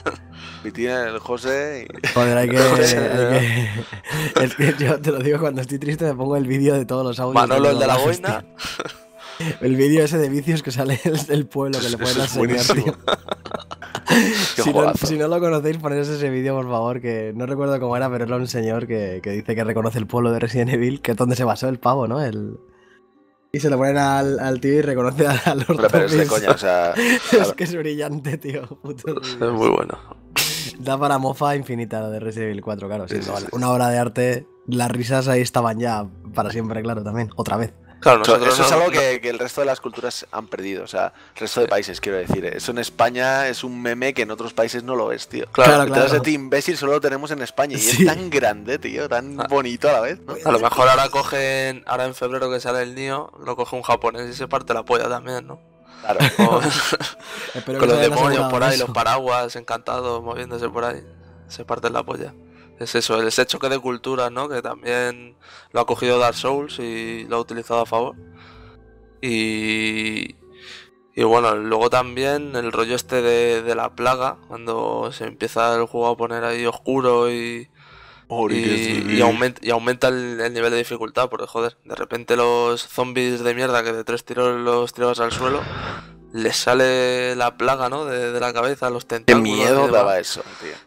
Y decías, hostias, ¿y ahora qué, cómo cojones me lo cargo, no? Y incluso no podías acercarte porque te, te metían ahí un, Un latigazo. un y no... y Joder, y de hecho luego en el castillo te comen la cabeza, me acuerdo, entera y te la arrancan. Sí, sí, Tiene sí. como forma de araña. Y Bueno, hostia, lo- los No ciegos estos, mucho. los ciegos estos que tenían garras que, que, Hostia, que hostia, no me tenían- de eso. Tenías que disparar a las campanas, ¿no? Y, y Para reventarlas que por fuera detrás. hacia ellas, sí, sí, sí, sí. Un montón de enemigos. Es que no hemos hablado. No queremos hacer spoiler, no hemos hablado de todos los bosses, pero toda la saga ha tenido unos bosses del recuerdo de Resident Evil 4, pues no es la, ex- la excepción, joder. Buenísimos. Y luego otro enemigo a remarcar son los, los, regenera- lo- Y no me hables de eso, tío. Los regeneradores que salían al final en la isla. Que hostias, a mí me daban un cague y Miedo, molaban pero- un montón. Molaban que te cagas y daban puto miedo, ¿eh? Yo Porque creo están que muy- de toda la saga es el bicho que más miedo me da. Sí, sí, y además las, juegos, las ¿eh? animaciones eran brutales, estaban muy bien Brutales. recreados. Los sonidos que hacía, todo. La respiración esa que tengo pesadillas todavía con esa respiración. Sí, sí, sí. Y el sonido de la música, Dios mío. Qué miedo daba eso. Nunca lo voy a olvidar en mi puta vida. Muy bueno, tío, muy bueno. Con Luis Serra, con Ramón Salazar, todos esos personajes ya icónicos. Con Ashley. No lo has imitado, tío, Ashley, Ashley. Es verdad que vamos, eso es una, entre comillas, novedad en la saga, que vayamos con un personaje y demás al Sí. que tenemos que proteger. Pero luego más evolucionó. inútil que, qué cosa más inútil, pobrecilla. Madre mía. Bueno, luego evolucionó. You're perfect. Luego evolucionó y para conectar un poco con el siguiente, que es el Resident Evil 5, ya era un juego cooperativo, ¿no? Tu compañero ya lo podía usar. Un- sí, sí. la combinación del 0 ¿no? y el 4. Eso es. No, en- me ofende que no hayas invitado a Serra, tío. Dave. Me llamo Luis Serra, y used to be a cop from Madrid. Joder, y tanto. Where's everyone going al bingo y mil frases míticas. Es el más frases míticas de toda la saga, ¿eh? Yo creo que sí. Joder, tío. Es que es tan bueno. Torres en el 4. Luego, Mejor. antes de pasar al 5, si queréis, comentamos los 4000 spin-offs que, ha tenido la saga, ¿no? Uf, Porque antes del comentaría al 5. Bueno, si queréis al final. Si vamos por entrega por entrega, tenéis razón mejor. El Resident Evil 5. Que ahí empieza la decadencia. ¿no? Buah, a mí no Sí. me gustó nada, yo lo Yo siento. creo que ahí eh. ya empezó la bajona. Yo se ese de ya lo dejé. Yo Se lo nota digo. que Creo que ya no estaba Mikami, ¿no? No, ahí ya se fue Mikami y, y se nota que el, el gran influyente que, que fue Resident Evil 4, evidentemente, y influyó en todo el diseño que es Bueno, tomó las Resident Evil riendas, 5 tío. es el 4 calcado. Peor, peor. Evidentemente peor. porque no es tan fresco, porque lo único que hace es repetir conceptos del primero literalmente. porque es que es igual. Calcado y muchos años después, tío. Es que no, no puedes hacer eso porque ya lo de quedarse clavado cuando disparabas a mí no me gustaba nada en esa época, tío. Y la- Sí. Bueno, había algo que No, lo yo siempre corregía, Sacaron la Gold poco- Edition. Sí, la. Gold Edition que luego es como la GOTY Edition que venía con todos los DLCs. Sí, pero me parece que arreglaba también algo de esto del, del quedarse clavado apuntando, ¿no? No lo sé. Ya no me suena. estaría bien, desde luego. Porque ya en el año en el que salió, joder. A mí eso no me parecía mal, porque Sí, me la que ya se notaba, 4. ya se le veía el cartón, ¿no? A la saga. Y a la, me- y a la mecánica, esa mecánica a ya mí me estaba parece que raro anticuado, porque Resident Habrá Evil, que lo que pasa es que no evolucionaron nada de Resident Evil 4. Lo único que evolucionaron es el, el- La estética. no el, apartado el cooperativo. El Sí. cooperativo sobre todo, que es lo que incorporaba la saga, que es la, es la primera vez que algo tan grande sucedía en la saga, poder jugarlo con un colega tanto online como en local. Ya, pero eso ya cogía lo que es Survival es que- y lo, lo tirabas a la basura. Claro. Me parece, o sea, es normal que de Resident Evil 4, que fue tan exitoso y tan revolucionario para toda la industria, quisieran seguir esa línea, pero es no salieron ni un poquito más allá del cooperativo. No, en aquella Y- época en la que ya estaba Y ya no había Software, inspiración. Uncharted incluso y demás. Claro, claro, claro. Ya es que Era no- como estancarse en una cosa A mí que- ese, co- ese control es el que me, me, me- me dejó de no me dejó jugar del todo. Vamos, jugué Normal. unas horas y dije, joder, pero ¿esto qué es? Si es que parece que estoy jugando, pues eso, al Resident Evil 4. Y hayan pasado ya años, que- tío. A mí me parece que el Resident Evil 4 sigue siendo tan sólido que lo disfruté igual, ¿eh? Lo que pasa es que, o sea, no igual lo disfruté. Pero claro, al lado del 4, que era el más inspirado a nivel ya no solo de control, sino de diseño de situaciones, incluso Claro, a nivel de algo, guion, esto es un pastiche. era algo novedoso, claro, que nunca había jugado. Un juego de acción, Claro. de terror, eh, con esa cámara y, y- y esa jugabilidad.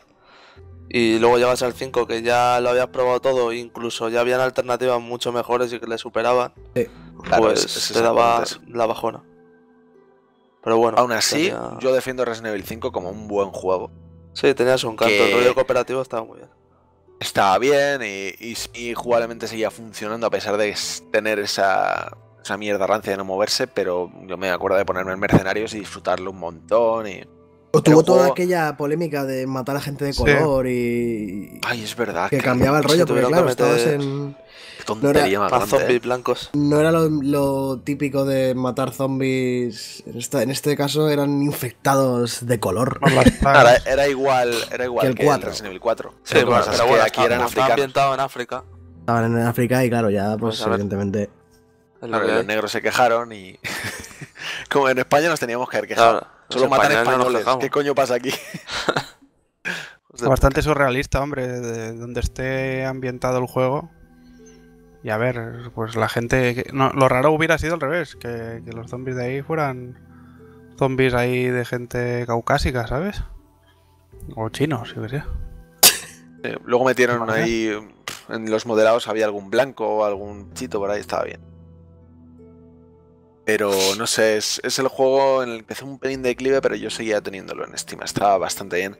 Y Sí, se, cerraba, se argumentalmente, jugar. cerraba argumentalmente todo lo que es la saga en realidad. O sea, podía estar más o menos abierto, pero joder, ahí es donde. Bueno, es spoiler al final, pero donde termina gran parte de lo que pasa ahí en la saga, ¿no? El cierre de Umbrella, ¿no? Exactamente, y, de- y del enemigo final, bueno. Pues que era Joder. tomar por culo, ¿eh? no pasan las spoilers. Reventando allá, hostia, la, La roca. La roca. Tiene también memes graciosos este juego, ¿eh? Lo de la roca, hostia puta. Los brazos de Chris Redfield es un meme. Dios, sí. es verdad, el cambio de Chris Redfield que se había tomado ahí todos los batidos. Claro, Claro, tío. vieron el bueno, of War que está de moda sí, los ahí mazos y dijeron, estaba venga. Testosterona, niño. los modelados esos de la época, así que o sea, salieron Sal- muchos muchos hombres con brazos ahí llenos de, de esteroides. Muchos hombres con brazos. Llenos de esteroides. Hasta arriba. sí, sí. Joder, tío, es que como, como la cabeza, ¿sabes? El brazo.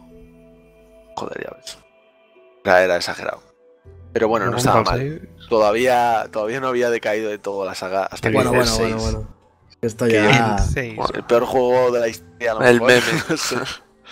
meme. Yo no me lo La puedo vergüenza. acabar, yo por, por respeto a la saga A y, ti mismo. Y, y eso, por no faltarme al respeto como jugador, lo tuve que dejar a, a mitad. Me empecé la campaña de Leon y dije, no puedo seguir. Incluso intenté jugar con un colega a ver si en cooperativo o tal y nada, nada. Con la Risis. Yo me- Además, te, te metían también el, el, el- ¿Cómo se llama? El gancho, ¿no? Un poco era el, el- el hijo de Wesker o algo así, ¿no? Joder. El Sí, hijo de Wesker. sí, Que era bueno. Dante en realidad, ¿eh? Sí. Era El DMC además. Sí, sí, era el Dante del DMC. sí. Joder, qué puta mierda de juego más grande. Recuerdo que se anunció, es que fue lo típico. Se anunció como el juego que más con más gente desarrollando un juego de la historia. Madre mía, así salió. Y además se anunció en plan que habían empezado a desarrollarlo súper pronto, se anunció el mismo año que salió. Un Frankenstein ahí. Y fue eso, 400, no sé cuánta gente había ahí desarrollando, cada uno desarrollando una parte del juego por separado. Y eso salió el, el mayor Frankenstein que se ha visto nunca en los videojuegos. Una cosa horrible. De, de decir, no puede ser esto real. No Qué puta mierda más grande. Quería además coger poquito de survival horror con, con la campaña de Leon, luego meter más acción con la de Chris y luego meter una cosa más en tercera persona de Un aventuras. hack and con- slash ahí raro. Sí, sí, un hack and slash con plataformas extrañas. Con y- lucha libre, con había lucha Con libre. lucha libre. habían llaves que era el, el- el hijo de Wesker. Madre Qué mía. cosa más mierda, de Y verdad. lo de tirarse ahí ha- hacia un lado y desde el suelo empezar a disparar. Claro, claro. No solo introdujeron movimiento para aquellos que se quejaban, sino que ahora podías saltar y tirarse al suelo y rodar en el suelo. es que madre mía, qué puta mierda. Madre mía, cómo se le fue la cabeza ahí a la roja. pues. Sí, sí, sí. O sea. Y aparte todo mal hecho, mal diseñado, eh, un nivel de detalle pésimo en muchas cosas. Lo del tiburón ya es un clásico. Joder, De nació Sarnado. joder. es que sí, ¿eh? Es un poco... Me eh, extrañaría, ¿eh? película de, de Asylum, ¿no? De, como muy cutre. Es la serie B, no, serie Z, es horrible. Sí, yo creo que ahí ya se metieron en la hostia definitiva. y tuvieron que tirar de spin-off porque, bueno, no sé cómo vendería el juego, la verdad. No sé si tuvo éxito. Creo que es de el segundo de más vendido de la saga. no sé ¿eh? si por Creo el que el más nombre. vendido es el 5 y luego el Sí, 6. creo que sí. Todo lo bueno. ¿eh? Joder. Madre. Sí, sí, sí. Y bueno, la saga se fue a tomar por culo. eso. Sí, el Resident Evil 6 fue el último clavo en la tumba de Resident Evil. Que no había ido tan mal, de hecho. Hasta el 5 que pegó un bajón, pero no era tan grave. Y el 6 fue la demencia. De hecho, cuando se estaba promocionando el juego, dijeron que querían capturar al público de, de Call of Duty. O sea, para que veáis cómo. Capcom ha ido perdiendo el norte completamente. Bueno, lo que solo vendía. por el negocio. Claro. Quien ha ido haciendo récords de ventas un año, bueno, en esa época al menos, año tras otro iban haciendo récords de ventas cada, cada iteración de la saga, era Call of Duty. De golpe, pum, no sé cuántos millones. Y el público les ha dado la razón en parte, porque Sí, es el segundo más vendido de la saga. Así que pff, Bueno, lo increíble formas- es que con el 7 hayan retomado. De todas Sí, formas, en la, bueno, en la- la en la época, en la época de 360, Play 3 y demás, yo creo que había más gente jugando, ¿no? Había más consolas en, en cada casa, ¿no? Y normal que se vendiera más. Por eso el- además el viniendo cinco- del 5, que era un juego que estaba bien, pues la gente tampoco pensaba que el 6 iba a ser tan puta mierda. O sea, yo me lo compré y me lo pasé en todas las campañas. No Hombre, si hemos, de contar, si hemos de contar las, la- el cero, ¿no? Las ventas que las potenciales ventas de las cubes que se vendieron. Claro, claro, exactamente. Eso sí. Por eso que no lo hemos hablado, que Resident Evil 4 era exclusivo de Cube. Sí, En ha plan, salido exclusivo y ha salido en todas partes. El año siguiente salió en PS2. Me acuerdo que Estaba, le- se estaba un leyendo aquí que ha salido hasta en una consola que creo que se llama Cibo. Cibo. Que había oído eso. ¿Cómo? Cibo, tío, que no sé qué Cibo. cojones es. Cibo. Debe ser un- algo así como una huya o algo así. Nacibo.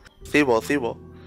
Pues imaginaos si Mikami se enfadó cuando, cuando portearon el juego a PS2 porque él había prometido por activa, por, por activa y por pasiva Sí, que iba a salir en, en Cube. Se enfadó cuando salió en PS2, ahora que se ha prostituido en todas partes y se han salido todas las consolas del mundo. Mikami es normal que no quiera ni volver a la saga y ha hecho el Evil Within. Es que a día de hoy ha salido también en Play 4 y en Xbox One. O sea, Sí, sí, a día de hoy sí los no se remasters al revés, ¿no? 4. Juegazo. No va, va a ser un juego que nos va a sobrevivir, seguramente. En móvil ha salido también entero, ¿no? Sí, en iOS, en iPad, estoy Joder. leyendo, sí, sí, sí. Es de locos. Increíble, macho. ¿Salió en iPad Resident Evil 4? Sí, claro. Sí. Al lorito, ¿eh? Es alucinante, ¿eh? Muy fuerte. Pero bueno, si queréis, antes de llegar al numerados. 7, vamos con los spin-offs, como decía Joan, ¿no? Sí, bueno, que salieron en su momento y no por, o sea, no salieron luego los spin-offs, sino fueron saliendo durante el lanzamiento de los otros, como Sí. A partir de. 3 empezaron a salir un montón de spin-offs en todas las plataformas. Hay varias sagas así, ¿no? Por ejemplo, la, la Survivor, que era un que era un shooter, bueno, como un House of Dead, me parece, Sí, con ser. pistolas, ¿no? Con las... con pistolas que, bueno, supongo que se puso de moda, ¿no? Durante una época, porque con el House of the Dead y todo esto. Sí, había varios de esos. El Resident Evil AIM lo jugué yo. Estaba bastante bien. Luego también metieron los Outbreak, que... Los Outbreak, que eran los prim- que la primera introducción la saga online. Sí, Es verdad. online multijugador, que me parece que tú podías ir por un lado y que te matasen, luego tu cadáver se levantaba con zombie, no me, no me acuerdo Sí, si eso lo llevabas tú o no. Era la hostia el concepto de juego. Sí, sí, el concepto era la hostia, yo estaba como loco, Porque- pero el online en esa sí lo- época Eso es lo que te iba a decir, sí, sí. eh, llegó demasiado pronto porque no, no, estaba nada, no estaba nada implantado el online. Ese Yo me pasé el concepto, 1 y el 2 y no tenía online, claro, lo jugué todo offline. Claro, podías concepto con bots y todo esto. ese pero concepto del que, del que habláis ahora mismo me está sonando a uno que ha salido hace poco, que es free to play, el Let It Die. De Grasshopper Manufacture. Ya salió hace poquito, además, en Play 4. Sí, es, es muy parecido a lo que decís. Lo que pasa es que esto tiene jugabilidad más rollo eh, no, no More Heroes o incluso Souls. No, el gas super. Y es eso, cuando, cuando te matan, tu cadáver como que se transforma en un, en un enemigo. Y le aparece a otros jugadores. Claro, claro. Eso Son molaba el un mismo montón. rollito, sí. Molaba además porque había como varios personajes y eran personas del día a día, no era, no te pedías un stat ni nada, era por primera vez en la saga cuando introducían a personas Eran random, sí, gente, de, gente de Raccoon. Claro, pas- pasaba durante- había policías, sí, pero había de todo. Y pasaba durante lo que dice Joan, durante el, la infección Entre en el Raccoon 2, entre lo que sería el 2 y el 3. Porque en el 3 al final ahí explota todo. Y cada uno tenía habilidades diferentes, ¿no? Y uno tenía una Creo que pistola había una camarera, por armas, ejemplo, o algo así. La camarera no sé qué haría, a lo mejor curaba mejor, creaba mejores hierbas. Luego está la periodista que podía abrir puertas. La estudiante se podía esconder mejor en sitios pequeños. Y joder, eso online tendría que haber sido la hostia, ¿eh? Porque yo offline los dos los jugué y me parecieron súper buenos. Además tenían ese control de los originales un poco mejorado y está bastante bien. Y salieron dos además, ¿sabes? O sea, Sí, sí, sí. Mal, PS2. mal, mal no les funcionó. Que más luego salieron también más cosillas, ¿no? Bueno, también hay los de Nintendo DS, ¿no? Sí, el 3DS. Revelations. Eso, 3D. Sí, el de 3DS. Hay dos, ¿no? Yo sé. Ah, los Revelations, jugué- que precisamente los Revelations son del mismo director del juego que hablaremos ahora, del 7, ¿eh? Ojo. Sí, pues yo flipé, sobre todo gráficamente. Además, te venía un el Transformer este que tuvieron que, que meter para tener el segundo, Ah, es verdad, el segundo stick. el segundo stick. Y joder, yo lo disfruté bastante. ¿eh? Me recordó un poco a, al- cuando disfruté el 4. Porque además retomaba otra vez un poco la ambientación. En el barco Está este, jodida. jugué al Eh. principio también y la verdad es que molaba bastante. Sí, sí, eh, está ambientado en un, en un barco. Y controlaba, si no me equivoco, era Jill. Y era Sí, Jill, sí, Chris y, a, y a un gordito que había por ahí, ¿no?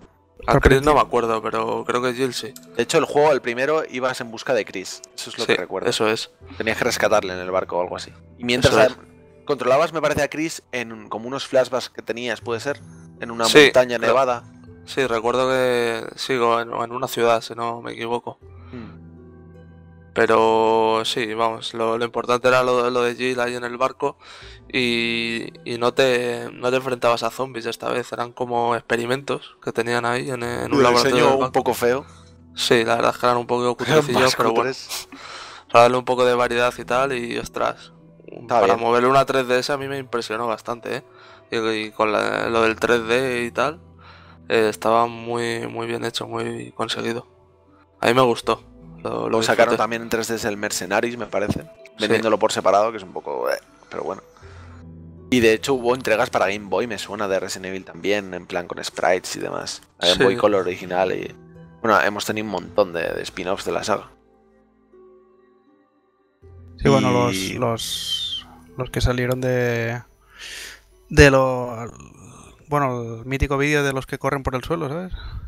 Hostia, sí, Umbrella eh, Corps. Joder, que se ha salido Corps. el año pasado, justo, ¿no? Madre mía. Umbrella Pero que antes del. Umbrella Corps había el Operation Raccoon City, ¿Verdad? que te metía dos bandos, uno de como Stars y otro de Umbrella, que se peleaban con, con habilidades cada uno y los zombies de por medio. Bueno, bueno. Qué horror, de verdad, porque...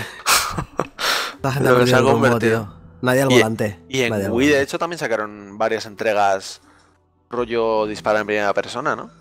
Sí, Sí. rollo lo que habéis dicho. Chronicles, El, ¿no? el Survivor, sí, el Chronicles era de también de disparos.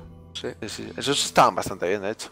Bueno, el, el de- Chronicles lo que hacía era te re- creo que si no me falla la memoria, te, re- te repasaba el- la historia y jugabas diferentes situaciones, yo que sé, Sí, era- Código Verónica, ya Era sea- como una la el parte 2. que no veías de, de las primeras entregas. Como que te No, pero por ejemplo, luchar también contra enemigos del contra Sí, sí, todo del- era, todo era fanservice. Fanservice, ¿no? Sí, disparar ahí fanservice. Como una atracción, ¿no? De Disneyland. De, Sí, era. de. Tras de la Sí, sí, bruja. Desde la bruja total. Y luego por medio también metieron las películas. Uf. Que hay, hay esto vamos a entrar en esto, Dios mío. bueno, se He visto alguna, eh, para mi vergüenza. Yo creo que me vi la primera y. La primera, La de la primera aún era de ser como, a ver, como No me acuerdo ya. adaptación, sinceramente, eh, ¿De qué hablamos de- ahora? ¿Que me Eso digo yo? ¿de las Ah, películas de imagen real o lo de las de.? de imagen real, imagen real. Ah, bueno, Sí, de la de- Joder, vi la primera y no quieres ver nunca más nada semejante. Qué- qué por horror. ejemplo, la Yo- 2, es que la 2 es el Nemesis, pero con, con la Mila Jovovich por ahí. Pero, Y dándole de o hostias. sea, Yo recuerdo mismo. mucho la escena que le empieza a pegar al Nemesis de, de hostias a puños, ¿sabes? Sí, porque meten que, Mucho meten, horroroso. meten que también ella es un experimento, ¿sabes? Rollo Nemesis, Sí, sí, pero claro. otra, otra, otra vía de investigación. como me suena que eso también lo he visto. Qué horror. Y acaba, y acaba en UMD para la ahí cargándose a todo. Joder, eso sí que. Me la dieron por la consola y es lo mejor que me ha pasado en la vida. Lo tengo por ahí todavía. Qué bueno. Y a Jill también y todo. Sí, luego también en creo que en el en el 3 sí que fue un el 3 sí que fue un, un for the lulz. Porque, sí, y la anterior también. Sí, todos, todos. no, pero el, el a ver, el, el 2 aún sigue, aún sigue la historia de Nemesis metiendo la Alice por ahí en medio. Dándole de cates, tío. Sí, tío, sí, pero sí, es que el, el 3, el Extinction, era. En el desierto, ¿no? Eh, sí, bueno, no, en el desierto no, era, era, era un post-apocalipsis, se ha ido todo a tomar por culo. Sí, sí, sí. Sí, no, sí. no. Eso lo he visto en el ese- cine, ¿eh? Pero ¿por qué no hacéis esto, tío? ¿Por qué no Pero Resident Evil, tío, hay que verlo. Ese sí que fue un. un pero. Pero si No, eso de ¿qué me Resident Evil no tiene nada, no tiene nada. No, no, Nada. no, pero ya, pero los otros sí que tenían de Resident Evil. en este no salía Wesker o es en el Joder. siguiente. No, es en el siguiente que sale Claro, Wesker. qué grande. Ay, ay, ay. Salía que era el. Que Era Wesker, acuerdo, era un el- actor malo, malo, madre el mía. de, ¿No era el de Ah, Prison no, no, no, no, el no. Prison Sale Break. Wesker en el 3, sí, en el Extinction. Pero sale Wesker en. Sale Wesker, pero en. en, eh, creo que salía Prison Break en- no sé si era Chris Redfield o. Sí, era. Chris Redfield. Ah, era Chris. Era Chris en el siguiente. Qué bien, qué bien. Y meten Claire las también plagas. salía. Meten las plagas, bueno, que nadie dice que son las plagas, pero son iguales en diseño. Sí, bueno, que tienen ahí la boca que le sacan los bichos y eso. ¿Eso dónde? ¿En la tercera? No, no, en En la, la cuarta, en cuarta. la cuarta. En la Había cuarta. una que era en 3D, que era lo más malo que yo he visto probablemente en mi vida. ¿Pero por qué Pero os de- hacéis eso? Yo no lo entiendo. tío. Era de verdad No os bochornoso. queréis, no os queréis. Con- para con- salía, claro, yo la veía en mi casa en 2D y, y todo el rato lanzando cosas a la cámara como súper ridículo, tío. Yo creo que ese no lo he visto. Joder. Eso fue la anterior última, ¿no? Revelation 3D o algo así, ¿no? En plan, Madre. qué grande, qué grande. Y luego ahora ha salido, ¿no? Hay que ir al cine a verla con- esta última. ¿eh? ya pues me habéis metido un hype. Con los LOL. Con Resident Evil 7, ¿no? También ha salido hace poco. Ha salido, perdón. ha salido una nueva, la, la última peli. Por eso os digo que, que ya me habéis metido. No están conexas, ¿no? No se vaya a preguntar más absurda. Sí, sí, pero sí, si sí, no están Pues sí Conexas. están conexas. conexas, Sí que tienes están que conexas. vértelas todas. ¿no? Hostia, ¿en de serio, hecho- tío? de no es tontería hacer maratón, ¿eh? Con Una cosa, una cosa. Lo más gracioso- Claro, claro. Lo más es gracioso es Me que. sale una plaga de la cabeza. Pero digo, el doctor, el doctor que sale en la, en la- en esta, que habla con Alice, resulta que es el que se cargan en el, en el 3, en la Sí, tercera película. sí, sí, sí, es verdad. El, es el, el el Jorah de. Juego de Tronos, Tronos. de Juego de exacto. Sí, Juego de Tronos, ¿sabes? Le da el cáncer ahí y se va para otro lado. No, no, no, sí, sí. Bueno, el- la piel es la piel de esa, coño. Edgar. Piel de piedra o como se llama. Joder, spoiler en un momento. Te acabas de Juego de soltar Tronos. el Juego de Tronos, cabrón. Controlate un poco, John, ¿vale? Por favor. ¿Pero qué es esto? Hola, tío, pero ni, ni que estuviera diciendo cosas que no han salido en ningún sitio, ¿sabes? Que a vamos, es vamos a cambiar el tema. Y, Pero bueno, y si sí. queréis comentamos también las películas en CGI, que ahí sale mía. Leon y todo es canon y mola. La Yo creo que no he visto ninguna eh, de esas, me parece. Yo vi la de Leon, No me acuerdo ¿cómo de se nada. llamaba? ¿No Devastation? No. Algo así, Devastation o, Ve- o Vengeance o sé, tío. Re- Revengeance. Madre mía. No, Revengeance es el, el- el es Racing. otra cosa. No, no, no, No sí, sé. pero además era te metían un Leon, o sea, digamos, tú juegas con Leon en, en el, en el Resident Evil 2 y es un personaje normal, bueno, se mueve normal, pero a partir del a partir del 4 que ya empieza como siendo más de acción, luego ves la película y, y es Leon Ninja. Sí, sí, sí. Además, lo- bueno, los combates de cuchillo contra Krauser también son de. Pero es que no hemos comentado muchas cosas del 4. Se nos quedan muchas cosas en Las tintero porque. no pero que si podemos no podemos estar aquí tres días. solo del 4. Sí, sí, de toda la saga. No hemos comentado nada y joder. El momento Krauser con Quick Time Events, eso pues para llorar, ¿eh? De lo bueno que es. Ya, Ya pero ves. bueno, tenemos que llegar al 7 de algún día. Sí, yo creo que ya es el momento de llegar al 7. Hemos comentado los momentos más álgidos y más bajos de la saga. Y vamos con el análisis de Resident Evil 7. Lo que podemos Ese- hacer es hablar al principio un poco de la, de la- del planteamiento y tal, y sin hacer spoilers, hasta luego Claro, al claro, final. claro, claro. Al final que- hacemos spoilers, pero tampoco creo que sea tan necesario en este caso. Creo que Porque, podemos alargarnos un poquito. porque para, más que nada porque he jugado también. Y Claro. puedo hablar de ello. Juan, ¿tú no has jugado? Yo llevo dos horas. O sea que Pues ya llevas, puedo dar unas impresiones. Pues ya llevas dos de la. Ya llevas un 50% de lo mejor del juego. Eso es. Bueno, Pero podemos decir también de, de cómo apareció todo y cómo se anunció, ¿no? Claro, claro, eso es. sí, sí. Kitchen. Eso está bien. La experiencia esta de VR que anunciaban para el PS Move, que al final mutó. En, en el E3, uno de esos momentos álgidos fue el anuncio de Resident Evil como juego en primera persona.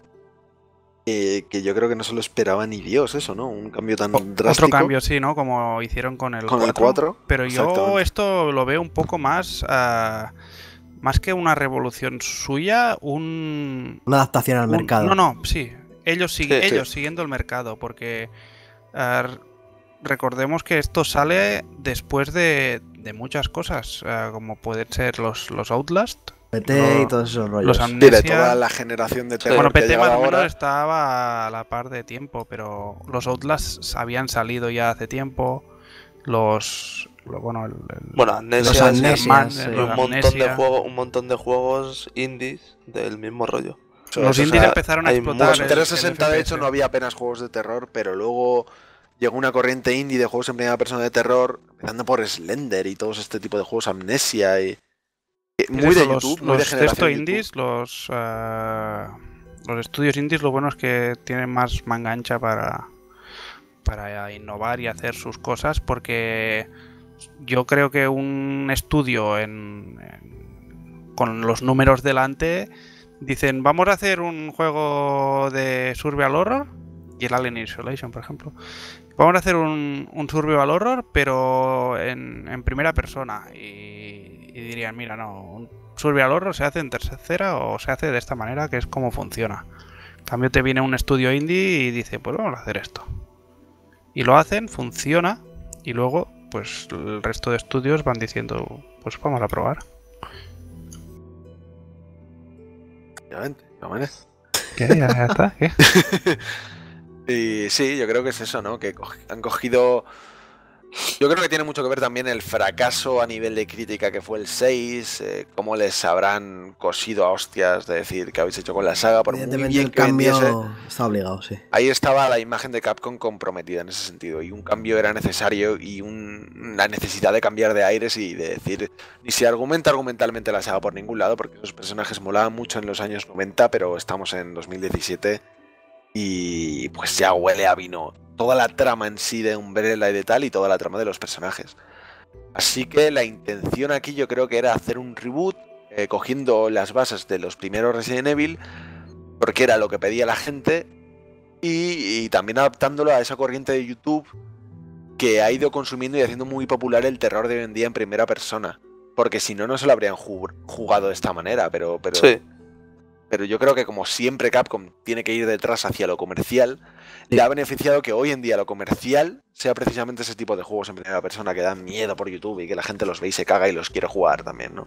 sí, y ya de paso aprovechar la VR, que está ahora mismo... También, también, claro. Bueno, se puede decir en auge entre comillas, porque parece que no ha arrancado, pero Está está, reciente, como, ¿no? como de moda, ¿no? Sí. Ya mata dos pájaros de un tiro, ¿no? Ha cambiado el- su, su juego, su saga más, más tocha. Y se ha adaptado un poco al mercado y encima coge la moda también de las VR. Tal. Y bueno, Uy, qué silencio aquí más incómodo. Pues sí, eh. Ya decimos que Resident Evil eh, salió en principio antes de llamarse Resident Evil, lo que había dicho antes Joan, con la demo de Kitchen para VR. Que Además que se nadie lanzó sabía que estaba mismo, jugando a Resident Evil. el mismo día del E3 se lanzó. Sí, eso aparte, pero la de Kitchen llegó mucho antes Ah, que hablamos el día de- de 3. Ah, vale, vale. Cuando nadie sabía que estaban jugando a Resident Evil, era una demo de Capcom de terror para probar la VR, una demo técnica. Y la gente flipaba ahí del miedo que daba. Yo, de hecho, lo había en la Madrid Games Week de hace dos años, creo que estaba. Y me Sí, sí, llamaba la atención estaba. por probar un juego de miedo, pero claro, nadie sabía que era Resident Evil, si no hubiera sido mucho más llamativo. Ya, pero también para probarlo tenías que pedir turno y todas estas mierdas. Era difícil, ¿no? Pero esto se probaba con. Se probaba no con la. Se probaba con Oculus, ¿no? No, no, no. Con, No, era con la el PlayStation. VR. Con VR. Entonces no hace VR. tanto, no hace tanto. Hace dos O años. sea, fue a la de. Fue a la Cuando de se moda. enseñó la VR, ¿no? Es cuando se fueron a la feria por primera vez, sí. Fue cuando. ¿No fue De cuando visteis a. Nolan North? No, no, no. Sí, creo que sí. ¿No? esa, tu- tuvo que ser esa. Fue Tuvo que esa, ser esa. Fue la, la- esa que vimos Entonces la hace un año, bueno, un año y medio. Sí, la, bueno, fue justo antes de. Justo antes de la E3 que se anunció el Resident Evil 7. No, no, Bueno, no, justo no, antes no, no, no, un Un año, año anterior. antes. No, no, Eso- justo antes me refiero a. a- Bueno, Al año a ver, anterior de la lanzamiento. feria- anterior, o sea, sí. la feria sería la el- E3 la donde se cuestión es que con las primeras demos de La VR ya en tenían octubre. esa demo ahí de Kitchen Sí. sin que nadie supiera que era Resident Evil. Y ya al año siguiente, en el E3, anunciaron que era Resident Evil todo esto. De hecho, yo me acuerdo estar viéndolo con vosotros y decir, no, pero esto es el Kitchen para VR, esto no es Resident Evil. Y al final borrarme la cabeza con ese logo y decir, ¿qué cojones están haciendo con la saga? Esto es Sí. lo último que me esperaba. Es un poco la corriente también del PT, ¿no? Porque te bajas la demo, PT. Sí, lo de la demo en ese momento y fue pum, PT Silent. Hills. Y te quedas Que igual. la gente ¿no? lo ha comparado mal, en mi opinión, con PT Sí. demasiado. No tiene nada que ver con PT. No, a ver, el juego no, pero persona. la forma de anunciarlo, ¿no? Como que The Kitchen. Eso es. Y además Y la luego forma de como muy repente Resident críptica y misteriosa Claro. lo han cogido. de- Desde luego ideas propias no han tenido muchas en este. En esta Que supongo que sería, pues eso, es como una forma de. de anunciar que es un reboot, ¿no? Porque juegas a un juego que se llama The Kitchen en primera persona de terror y dices. Vale, un- una nueva Eso- IP, ¿no? Sa- ¿Sabes lo que me, eh, Y pum, lo pensado llaman de vez Resident en Evil. cuando? No sé si eh, será así, pero especulo un poco con si ese proyecto nació como Resident Evil realmente. Y luego Capcom dijo, ¿por qué no hacéis a partir de esto Resident Evil? Eso es posible que fuera así. Sí, puede Y se notaría en el resultado final, desde luego. Claro, claro, eso luego lo hablaremos. Pero yo creo que, el-. Que exista todavía el 7 porque esto es un reboot, en toda regla. O sea, Sí, sí, sí. todo lo que vamos a Total. hablar de Resident Evil 7 es un reboot total de la saga, necesario, en mi opinión, total, a todas luces. Y mantener el 7 es un poco para no mojarse. Y, y saber que si se la pegan a nivel comercial, van a tener siempre el poder regresar a, a esos fans y esos orígenes y ese argumento de la saga. La única conexión, y esto no es spoiler, que vais a tener en Resident Evil 7 es a través de ciertos guiños. Que podrían no estar perfectamente y el juego sería el mismo. Esa es la cosa. Y el. Bueno, la demo, ¿no? Tenía el, el- los niños también. Al día del, lanz- del- de que se mostró Resident Evil 7 en el E3, dándole ya el nombre, por fin, y usando esas letras para poner el 7 y todo eso, ese mismo día salió una demo en la, en la PlayStation Store. Demo que además nosotros juntos. jugamos juntos. En, Sí, sí, lo jugamos en la casa. Cuando vimos el casa. E3. Y estaba Sí, bien, Nos sorprendentemente. acojonamos, la verdad. eh, Nuestras expectativas al ver el Resident ya y saber, joder, hacia dónde va, venimos del 6, tal. Seguro que es otro mojonazo increíble, tal. Y la demo nos sorprendió gratamente a todos. Sí, yo creo que a todos, sí, sí, sí. sí. Digo, yo, antes de esta demo, por esto, la de la Kitchen de VR, eh, creo que era inmóvil, ¿no? Estabas atado. Sí, claro, era. Otro tren de la el- bruja. Tenías sujetado el mando y era como si estuvieras atado a una silla y no era nada más que poder mirar alrededor y era como. eh, como una demo visual, no era nada más. En cambio, este ya era interactuable. Te Claro, por la era andar por la casa e investigar. Además, molaba mucho porque no era muy efectista, como PT incluso. Aquí no pasaba realmente casi nada en esa demo. Era un poco que veas la ambientación y que te pudieras hacer una idea de lo que iba a ser, pero no había, no había bichos ni nada de esto. Pero había Está los bien. momentos de, ¿no? de los diferentes caminos, los diferentes detalles, la Eso es. gente, diferentes objetos que te ibas encontrando, la gente por foros preguntando cómo, con, qué puedo utilizar esto. Un algo Sí, semi-PT ahí. Eso es, ahí copiaron a PT en la promoción bastante.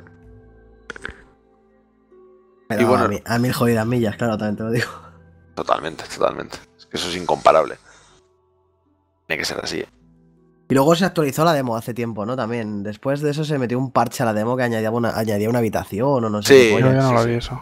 Añadieron otra habitación, eh, un par de cosas más para que vieras cómo iban ciertas cosillas, pero todo muy críptico. Y en la última actualización, que es la que yo no he jugado, añadían bastante hasta enemigos, creo. Creo Sí. que había ahí movidillas. No he llegado a jugar nunca. ¿eh? Pero el, el- los guiños que vimos nosotros en la primera demo, ¿no? Eran una foto del, de un helicóptero de Umbrella de Umbrella. y la voz de que la gente decía que era Ada Wong. Que, bueno, para mí dices es Ada Wong o es, la tía Pepi. Es la tía. Pepi más bien, ¿eh? Sí, Como sí. podemos confirmar desde aquí. Y bueno, ya nos ha llegado Resident Evil 7, muy temprano desde el anuncio a, a la salida del juego, que eso mola bastante, al menos salvo las es cosas verdad, que vamos eso a lo- comentar. Lo, lo estuvimos hablando de cuando supimos la fecha de lanzamiento dijimos, ¿seguro? En plan, lo acabáis de enseñar y cinco meses después va a estar en la calle. Sí, Me no gusta esa política, ¿eh? nada, ni un día. Ni un día, y me gusta esa política de anunciar los juegos cuando los tienes casi hechos. Y además no tienes la sensación de que sea un producto inacabado, ¿eh? Tienes la, tienes la sensación de que es un producto que ha tenido alguna movida en el desarrollo seguro, pero que no ha sido... Yo creo que eso la ha podido repercutir, ¿eh? Eso ¿La fecha de si lanzamiento? Sí, no creo que sí. Pero bueno, eso vamos al Hay que final. tener ¿no? en cuenta que son japoneses, tío. No sé. También, también, hay que tener siempre eso presente. Pero bueno, ya tenemos aquí Resident Evil 7, otra entrega de la saga, otra revolución en la saga. Que, ¿Qué podemos comentar que no sepáis ya? Eh, primera persona, eh, cogiendo cosas de lo que hemos dicho de juegos de terror Sí, actuales. sobre todo hay que centrarse en lo que primero llama la atención es la temática y la, la- la situación que no es, no es lo habitual en ningún Resident Evil, como pasó con el 4 en su lanzamiento. Que es que estabas en una especie de la matanza de Texas, que eso es lo que más nos ha molado, de hecho, a, casi todos. Y es que era algo que yo, además, no recuerdo que se haya visto nunca en ningún juego. O sea, un juego en esa temática. Se de siente terror. muy fresco por eso. Creo que hay un Por- juego de la matanza de Texas. Y bueno, pero. Habrá que- cosas, pero que estén así de bien hechas y que te metan tanto en el rollito de, de ese Luisiana rural con Las colinas tienen. Exactamente, Sí, claro, que te rollo. secuestran y todo está lleno de mierda y son caníbales y todo O ese rollo. o lo que puedas imaginar. claro. Claro, hecho tan bien, es, es algo que se siente muy fresco hoy en día. Sobre todo es eso. Que sorprende que además lo hablábamos constantemente de que se sintiera tan, tan, tan occidental. O sea, sí, occidental. Totalmente occidental. O sea, parece a, nivel de- que- a todos los niveles, tanto argumental al Diseño, sí, principio como a nivel de diseño. Es, El parece que estás ritmo. jugando a un juego de hoy en día muy triple A, muy de puta madre. De Y hecho, muy- triple A en el buen sentido, ¿eh? además. Sí, sí, sí, no, sí, sí. no en el mal sentido. incluso triple A, pero con conceptos que no tienen el resto de juegos como Outlast y todo esto. O sea, siempre estamos acostumbrados a jugar a juegos en los que el terror viene por lo sobrenatural un poco. Y aquí es. Sí que tiene, evidentemente, luego lo comentaremos, tiene idas de oye, tiene locuras, pero empieza siendo muy el terror a, a tíos locos en una casa que te quieren comer porque están chalados, sobre todo. ¿no? Manteniendo el tono de serie B constantemente Totalmente. y a la vez Sabiendo su incluso de riéndose de reírse de sí mismo también, incluso. Sí, sí, sí, sí. Muy bien, la verdad es que el tono del juego al principio es increíble y de hecho ya lo comentaremos, la primera mitad es un 10, es una maravilla. Y está bien que además el arranque del juego sea así tan rápido, en plan, directamente al turrón, ¿sabes? No le voy a dar mucha vuelta al vídeo, pum, y apareces a jugar. Tal cual, tal O sea, cual. no, no se intentan, en en plan, eh, tirar y abrir mil caminos o pretender más de lo que te... Eso me llamó la atención mucho, en plan, no hay mucha pretensión en ese comienzo. Di que luego a lo mejor se le puede ir la, la olla como siempre se les va la olla, pero el principio no me parece pretencioso y me parece que te tiran al barro directamente y me encanta. Tiene la barro además muy bien y no pretende ser ambicioso por concepto jugable, no, no quiere tener un terreno enorme en el que investigar, es una casa relativamente pequeña en la que sentirte, en la que disfrutas por pequeños detalles más que Joder. por la grandilocuencia que hay. Y el tutorial, por así decirlo, vamos, la toma de contacto del juego es... Es que a nivel de ritmo, Alucinante, sobre vamos. todo la primera mitad, es espectacular. Como van planteándote, planteándote diferentes situaciones y. Joder, es que es lo que tú dices, esa intro. Una es una declaración de declaración intenciones, total. claro. Luego lo hablaremos en spoiler porque es, Es muy bueno. espectacular. Bueno, Muy pero es bueno. una introducción, es como decir, vale, por aquí van los tiros. Claro. Y, Ah. y eso sí que se siente completamente nuevo, vamos. La intro lo referéis a lo que sale en la demo, ¿no? No, lo de después, un poquito más. Sí, lo de después, hasta que. Para bueno, finalizarlo, vamos, hasta que te hasta que sientan entras a en la cenar. casa, ¿no? Exactamente. Hasta que te Ah, sientan a cenar, que es, eso Vale, lo hemos visto todos en los trailers y tal. Todo el prólogo, bueno. Vamos, que te ponen en, en contexto de lo que es la historia de esa manera y es acojonante. Es acojonante, es que es brillante, tío. Y luego ya entras en la casa y al principio sí que puedes pensar por el principio del prólogo que sigue siendo genial, pero a lo mejor sí que coge más cosas de anteriores juegos de estos de terror en primera persona. Más de vivir situaciones así locas por sustos y por tal. Luego ya llegas a la casa y es donde te das cuenta de que sí estás ante un Resident Evil. De Sí, que bueno. toda la esencia se mantiene. Hay homenajes por todas partes. Vuelven las habitaciones con cintas y el baúl como punto de referencia, el, El con hall el de la casa es que parece la mansión. Sí, Totalmente. es que es muy, Y hay mil guiños. Tanto pequeñitos como encontrarte periódicos y cuadros que hablan sobre la primera mansión. eh, incluso nombres en, en artículos de periódicos de personajes Mm. secundarios de la saga. De Outbreak incluso que hemos hablado antes. Hay algún Puzzles, muchos también son. Muchos puzzles, Luego muchas situaciones. mencionamos.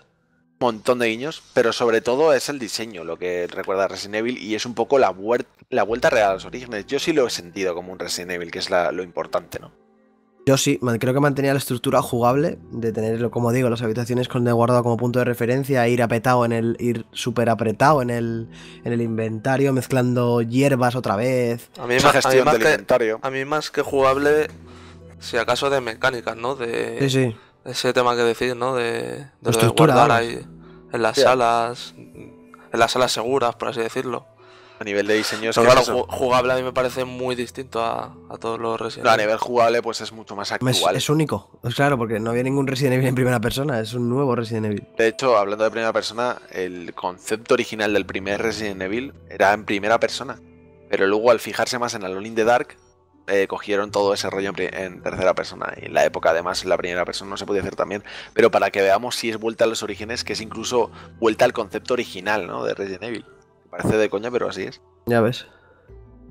Y es eso, el, eh, a nivel de diseño, sobre todo de estructura, eh, de cómo te tienes que montar un poco el mapa en tu cabeza, aunque tengas un mapa, pero sí que Nah, eh, es- esa investigación, ese backtracking, ese encontrar un objeto que te sirve para esta puerta cuando llegues a cierto punto del juego, eh, registrarlo todo porque tienes escasez de balas, Es lo que Resident has dicho Evil. tú, Sí. la gestión del inventario, todo, todo eso es muy Resident Evil original. Y todo eso mientras estás perseguido por los Baker, que es la familia. Son más protagonistas que tú, sin lugar a dudas. La familia eh, antagonista. Y ahí es donde entra realmente la mezcla de géneros también, porque hay cierta parte que lo que estamos hablando, pues post al, al- al prólogo este que estábamos mencionando, sí que te mezcla, y eso sí que lo noto súper fresco, porque te persiguen, no puedes entrar a cualquier habitación porque sí, tienes que mantener un silencio, puedes ir Pues- más tranquilo. Hay Sí, una Ale- mezcla ahí de Resident Evil con un Alien Isolation. Alien Isolation, por así Pues- decirlo así, que joder, no, lo, no, se, no se había implantado hasta ahora en, en Resident. Y se nota bastante bien. En, en esa, esa parte, esas dos orillas que hay ahí en la casa. Lo malo es que es muy poco. A mí se me hizo muy poco. Sí, eso. a mí también se me hizo muy corto. Y muy. Como el escenario es relativamente pequeño, al final te persigue por ciertas salas, pero. Pero está un pelín limitado. Pero sí, joder, a mí me encanta eso. La verdad. Yo creo que los mejores momentos del juego, sin lugar a dudas, los he vivido en la casa. Sí, sí, sí. Es que lo mejor Claro. es la casa, por diseño y por todo, y por nivel de detalle a nivel artístico incluso, es que está súper bien. Y eh, ya os digo que, como estábamos hablando ahí entre nosotros mientras jugábamos, tal, eh, os decimos que es que las primeras horas de Resident Evil 7 son magistrales. Es que son magistrales. O sea, esas cuatro horas y media primeras o, o algo así. eh, Primera mitad. estábamos pensando, diciendo, pero ¿cómo es posible que esto sea Resident Evil? Sí, sí, sí. Luego- acostumbrados a ese, a, ese, a, ese, a ese nivel que habían cogido desde hacía años. Joder, es que desde 2005, cuando salió el, el Resident Evil 4, no jugábamos a algo con esta calidad en la saga, ¿no? Claro, claro, ese es el rollo. E incluso no en la saga, como videojuego es la hostia el principio de Resident Evil. de Joder, claro, Resident claro, si ese es el rollo, que es que además es un juego nuevo, pero manteniendo. Yo creo que sí que tiene la esencia de Resident. Y eso Sí, es lo sí, que hablábamos. mantiene toda la que, esencia. que no dejas de jugar a un Resident Evil, solo que pasa que es nuevo, tío. Es tan está. reboot como Resident Evil 4, pero es incluso más fiel a lo que para mí es la saga Resident Sí, Evil. que es el terror, al final. Terror y, claro, toda esa sensación de agobio, de- Survival. ese diseño de, de puzzle grande en la casa, ¿no? A Es mí es lo que, lo que hablamos el otro día. Me parece que pillar de esa gracia que tenía Resident Evil de saga puntera que intentaba revolucionarlo, ¿no? Revolucionar tanto en gráficos, porque cuando salió un Resident Evil, eh, los fondos, aunque se fueran renderizados y demás, eran, se veía todo genial. Y, y que se arriesgasen, ¿no? En, en la jugabilidad y demás. Ya, pero es que eso solo ha pasado en realidad dos veces. ¿Sabes lo Claro, que quiero decir? Por eso, pero cuando salió un Resident Evil parecía como era, pues eso, esperar, yo que sé, ver con qué nos van a sorprender ahora y tal. Es cierto que la saga estaba en un coma, prácticamente. Y si tiene que salir del coma, pues mejor que sea así, ¿no? Y no que salga con un Resident Evil 7 con más hijos de, de Wesker y cosas así. ¿no? Lucha libre, a saco. Entonces, pues bueno, es- ha perdido un poco, yo creo, de, de frescura y de intentar innovar y de, y de revolucionar. Pero bueno, ha, Pero, joder, ha man- ¿dónde- ha mantenido, dónde hay que ha mantenido firmar? su, su, su ambientación y sus Claro. orígenes al terror. Pero ¿dónde hay que firmar? O a sea, ver, yo lo creo que, más la destaco- frescura, Bueno. lo repito, estaba en Resident Evil 1 por ser lo que es, y ni siquiera era fresco porque copiaba todo de Alone in the Dark. La frescura real quizás es el más el 4, que es el que de verdad innovó, y ya está, es una puta entrega de 400 que hay, ¿eh? Así Sí, que no me parece que haya revolucionado nunca la saga nada, más allá del primero por instaurar el survival horror y el cuarto por definir lo que son los juegos de acción hoy en día. Pero por lo demás siempre ha cogido, ha mantenido una línea. Y ha Bueno, repetido y ha repetido. y Puedes ha repetido. coger cosas e inspirarte en otras y, y elevarlos a un, a un nivel que parezca que es eso, que estás ahí revolucionando y, y haciendo algo brutal. Eso lo hace mucho Blizzard. O sea, Pero esto es lo que ha hecho en realidad esta gente con este juego. No ha revolucionado, pero ha cogido cosas de otros y ha cogido cosas de su propia puta saga y las ha hecho frescas, las ha hecho de hoy en día y las ha hecho mejor. Bueno, al menos al principio, claro. Y Pero eso es lo que, lo que tiene mérito para mí, joder. Como yo os decía, que, que donde hay que firmar. Claro, para que se reinventen las cosas así o se re... Hombre, no claro. encuentras la palabra real porque no se sabe. Para que se La refresquen así. sin rumbo, vamos. O sea, yo lo que más destaco de todo esto es que al ver el trailer en el E3 pensé, joder, otro Resident Evil, otro mojón y ahora O sea, ver, encima en ¿quién primera y ahora encima en primera persona. O sea, ¿qué Que más? hace cuántos años, desde 2005 hemos dicho, ¿no? Hace más, Claro. hace 12 años que no hay un Resident Evil decente o bueno. Claro, claro, claro, claro. Pues eso es lo que esperas, ¿no? Estás acostumbrado a la mierda. Vamos, a mí me parece una maravilla que exista Resident Evil eh, Siete. 7 en muchos casos. Luego Sí, sí. comentaremos lo malo, que es importante también. Que es mucho. Pero, pero es lo que digo, que, que es eso, yo no hubieran dado un duro por él en el E3. Me dice Resident Evil 7 y digo, joder. Para otro- mí, después otro del mojón. 6, la saga había muerto y yo no quería más Resident Evil. No quería, porque eso es mierda, mierda pura, ¿eh? Y eso es a lo que vamos. pura. Que las primeras O sea- horas de Resident Evil 7 estaban siendo. No nos las podíamos creer, realmente, porque esto es mejor que lo que he jugado en mi puta vida. Mira que yo los tenía ganas, porque, joder, vi el cambio de rumbo y, y yo que sé, tenemos a Dani que es muy fan de la saga y no le molaba el cambio de rumbo, pero a mí sí, creo que era algo sí. necesario, pero, pero estaba muy a la expectativa y no tenía tanto hype porque era en plan, bueno, a ver qué sale de aquí, ¿no? Y, y ha sido una sorpresa jugar esas primeras horas de Resident Evil 7 y, ven que, y ver que estamos ante un puto juegazo. Un juegazo. eh, Es como, sí. para mí, ha sido las primera, la primera mitad la vuelta del rey del survival horror, tío.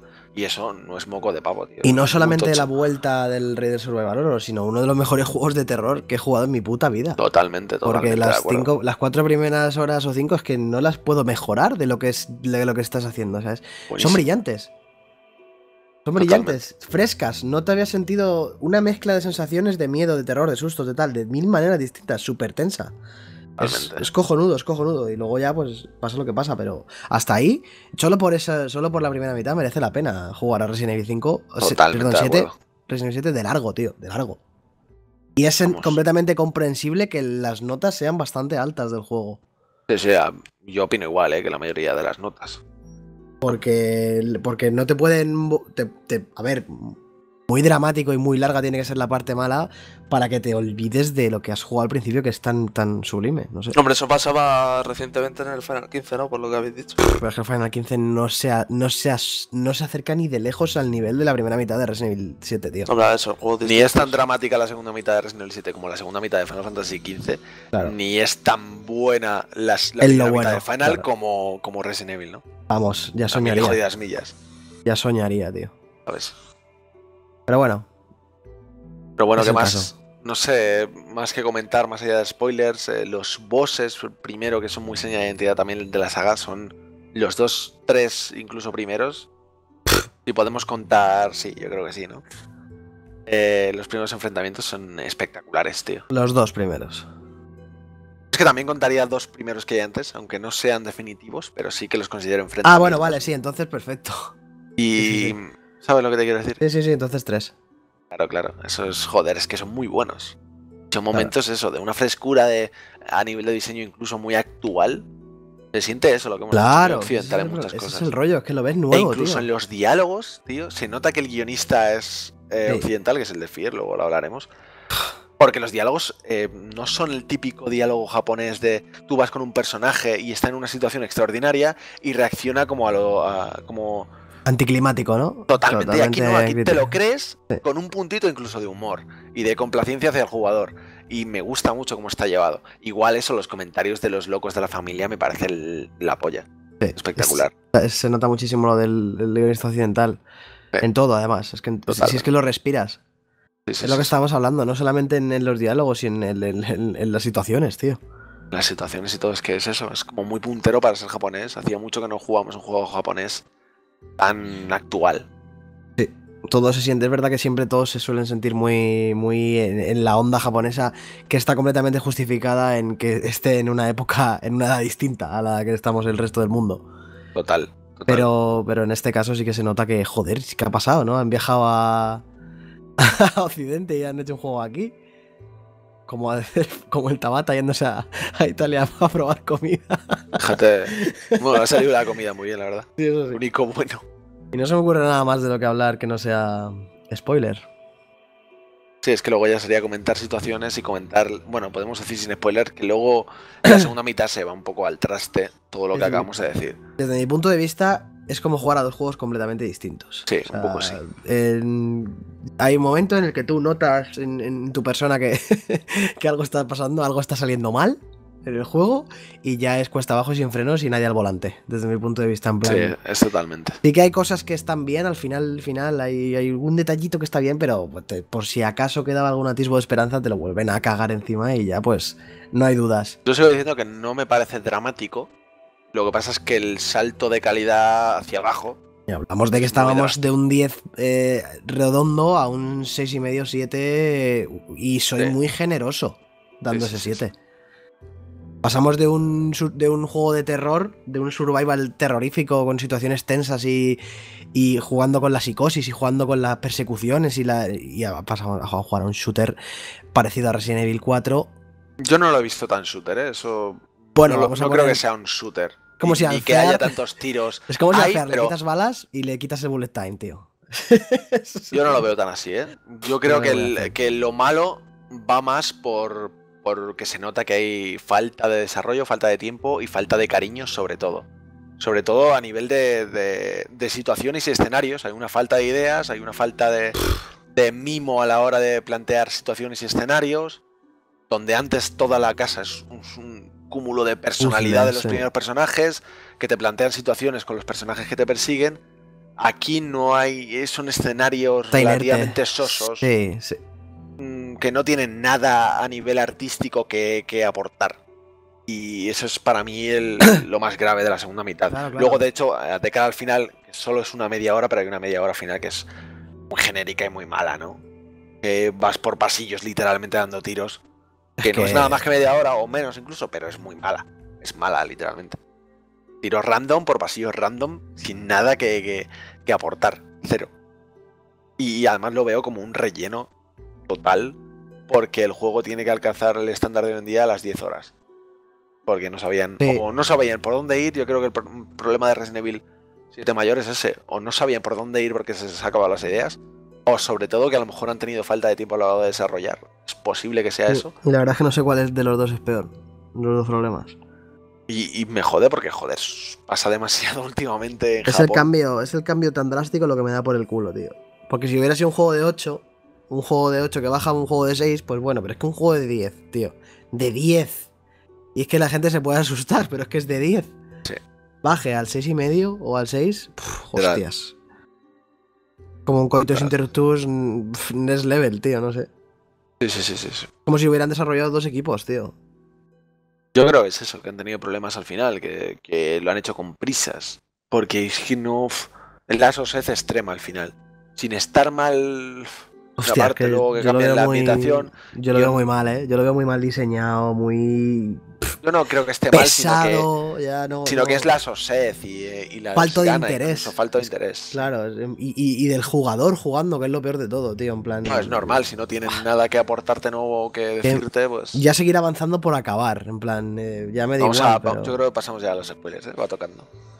Y no sé si Chus, antes de hablar de spoilers, ¿quieres contar algo más? No, ya. Vamos, llevo muy poquito. El juego tampoco es muy largo, son 10 horas, pero si decís que estoy en la parte más tocha del juego, pues sí, a, ver, a mí me está gustando y me parece que el nivel eh, ter- de terror y demás que mantiene está muy bien. El combate este en el garaje es la polla. Es, lo que más, es lo que más me ha gustado por ahora. No esperaba menos. Y, y bueno, bueno. a ver, a ver la segunda parte, que lo ponéis un poco más bajo. A ver qué tal. Y, yo me retiro para no que no me spoileéis, no me bombardeéis. Luego te avisamos. Qué. Y eso, luego me avisáis y vuelvo. Venga, pues nada, vamos a hablar de spoilers. Si no habéis jugado a Resident Evil 7 o al menos Iros de acá, ¿qué solo... estás haciendo acá? Lárgate, cabrón. Si habéis jugado solo un par de orillas o tres o cuatro, no sigáis. Porque vamos a empezar a hablar de situaciones jugables que al final es lo más importante. Yo creo. Yo creo que, no sé, nos podemos centrar en situaciones jugables buenas, malas, eh, las más Luego destacables de por el ambas. principio, ¿no? Sí.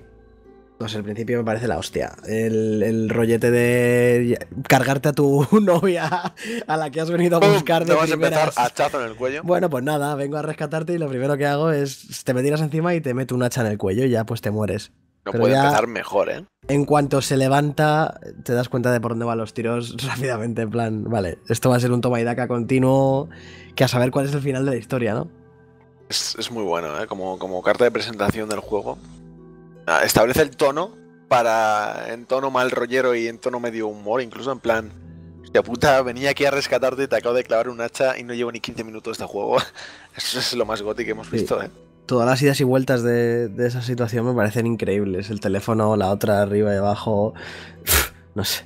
¿Ves? A mí ese combate ya eh, con la motosierra ya me parece un mini boss, ¿no? Podríamos considerar así. Ah, bueno, si consideramos a esta también un boss, es posible. Yo creo que lo consideras boss porque empezaste a jugarlo en dificultad locura. También es verdad. ¿Cómo en decir eso? La dificultad es el horror, perdón, que estoy comiendo. Muy bien. Pero eso, que mm, yo creo que esa, esa toma de contacto, justo la, la orilla, o por así decirlo, que estás jugando antes de, de que te sienten a, a la mesa a comer, los Baker, es, es la puta hostia y ya estás en un estado de... Te han plantado en un estado serie B en Resident Evil fresco que no, no conoces y estás a, la- a expectativas de ver qué- con qué más te van a sorprender. Y es, y es que no paran de sorprenderte porque No paran. justo ya- después de eso Lo de la cena es genial. Lo de la matanza cena de Texas otra vez totalmente. Lo de la vieja que te gira la cabeza y te mira me Qué parece. mal rollo cuando te levantas y ves cómo te mira. Dios mío. Más donde vas, te mira, gira la cabeza lentamente. Es creíble, tío. Mm. Es la Sí, polla. sí, sí. Y ya Que no hace falta que haga nada de efectista para que te dé ese mal rollito. Simplemente con la mirada es una genialidad, vamos. Y ponerle y quitarla y ponerle y quitarla de todos los sitios constantemente. Ese toque paranormal es la hostia. Genial. Te, te- te hace que te preguntes qué coño está pasando aquí, quién es esta gente y por qué me han cortado el brazo y yo de repente lo tengo grapado. ¿Qué ha pasado? aquí? Grapado literal, eh. Joder. sí, que sale como te lo grapa el, el peor del juego, que es el hermano. Yo porque eso no hay por dónde cogerlo. Pero. Pero eso, hasta ahí, vamos. Te lo grapa la, la hermana, ¿no? La, ¿No te, te lo está grapando la. sí, la chica, creo. ¿Cómo se llamaba? la hermana? Mía o. No, Mía es la novia, eh. La otra, coño. No me acuerdo. ¿Te lo está grapando ella? Al principio pensaba que era el hermano, no me acuerdo ya. No, creo que es ella, creo que es ella. Pero bueno, pasemos. Eh, luego te sueltan en la casa, investigas un poquillo y. Y ves, ya empieza muy bien. El, el primer encontronazo con el policía me parece genial. Joder, eso sí que Cuando sería estás investigando por la casa, por de la repente ventana. empiezan a llamar por la ventana y vas corriendo. Oye, oye, es como muy real, muy Sí, sí, te lo crees. genial. Serie B de película de toda la puta vida. Te das una Totalmente. bajita, Coño, una, al- una ayuda, una, un reducto para salir Sí, de aquí, sí, en plan. Y dura lo que dura, claro. Genial, ves, Es- en esos diálogos ya se ve que no hay japonés, no es, no japonés para nada, es como muy creíble. Oye, no te voy a dar la piba, te doy esta navaja, tal. Sí, sí. al ¿Cómo te voy a dar una pistola, imbécil? Y muy serie B de personajes tontos, ¿no? De cuando llegas te lo vas a encontrar a él y te dice, no, ciérrala, ciérrala esta, en vez de darse la vuelta o algo. Es en plan, ciérrala esta y le atraviesa la puta cabeza con la pala, tío. La parten dos, tío. Qué tío, grande. Y tienes uno de los mejores momentos que es lo que comentaba Chus antes, ¿eh? el combate del en el garaje. Joder, y eh, me encanta la gente que, como Julián, que está malito en la cama, por cierto, un saludo. Al hoyito. Como él se pasó el boss sin ninguna complicación, cogió las llaves de encima de la mesa, se subió al coche y le, le atropelló. Pero si no lo coges, tío. El tío, el Baker, se arranca el techo del coche, se mete dentro y empieza Buenísimo. a matarte con derrapes, tío, con el coche. Me pareció tan de decir, no me lo puedo creer que estoy Sí, jugando sí. en este momento. La serie absoluta. Vamos. Era y de hecho se le puede matar, ¿eh? Desde el coche también. No sabía yo, lo he visto ayer ¿Cómo en que un se le vídeo. puede matar desde el coche? Cuando te intenta atropellar, si le das los tiros suficientes, se estrella y arde también. Hostias. Sí, sí, sí.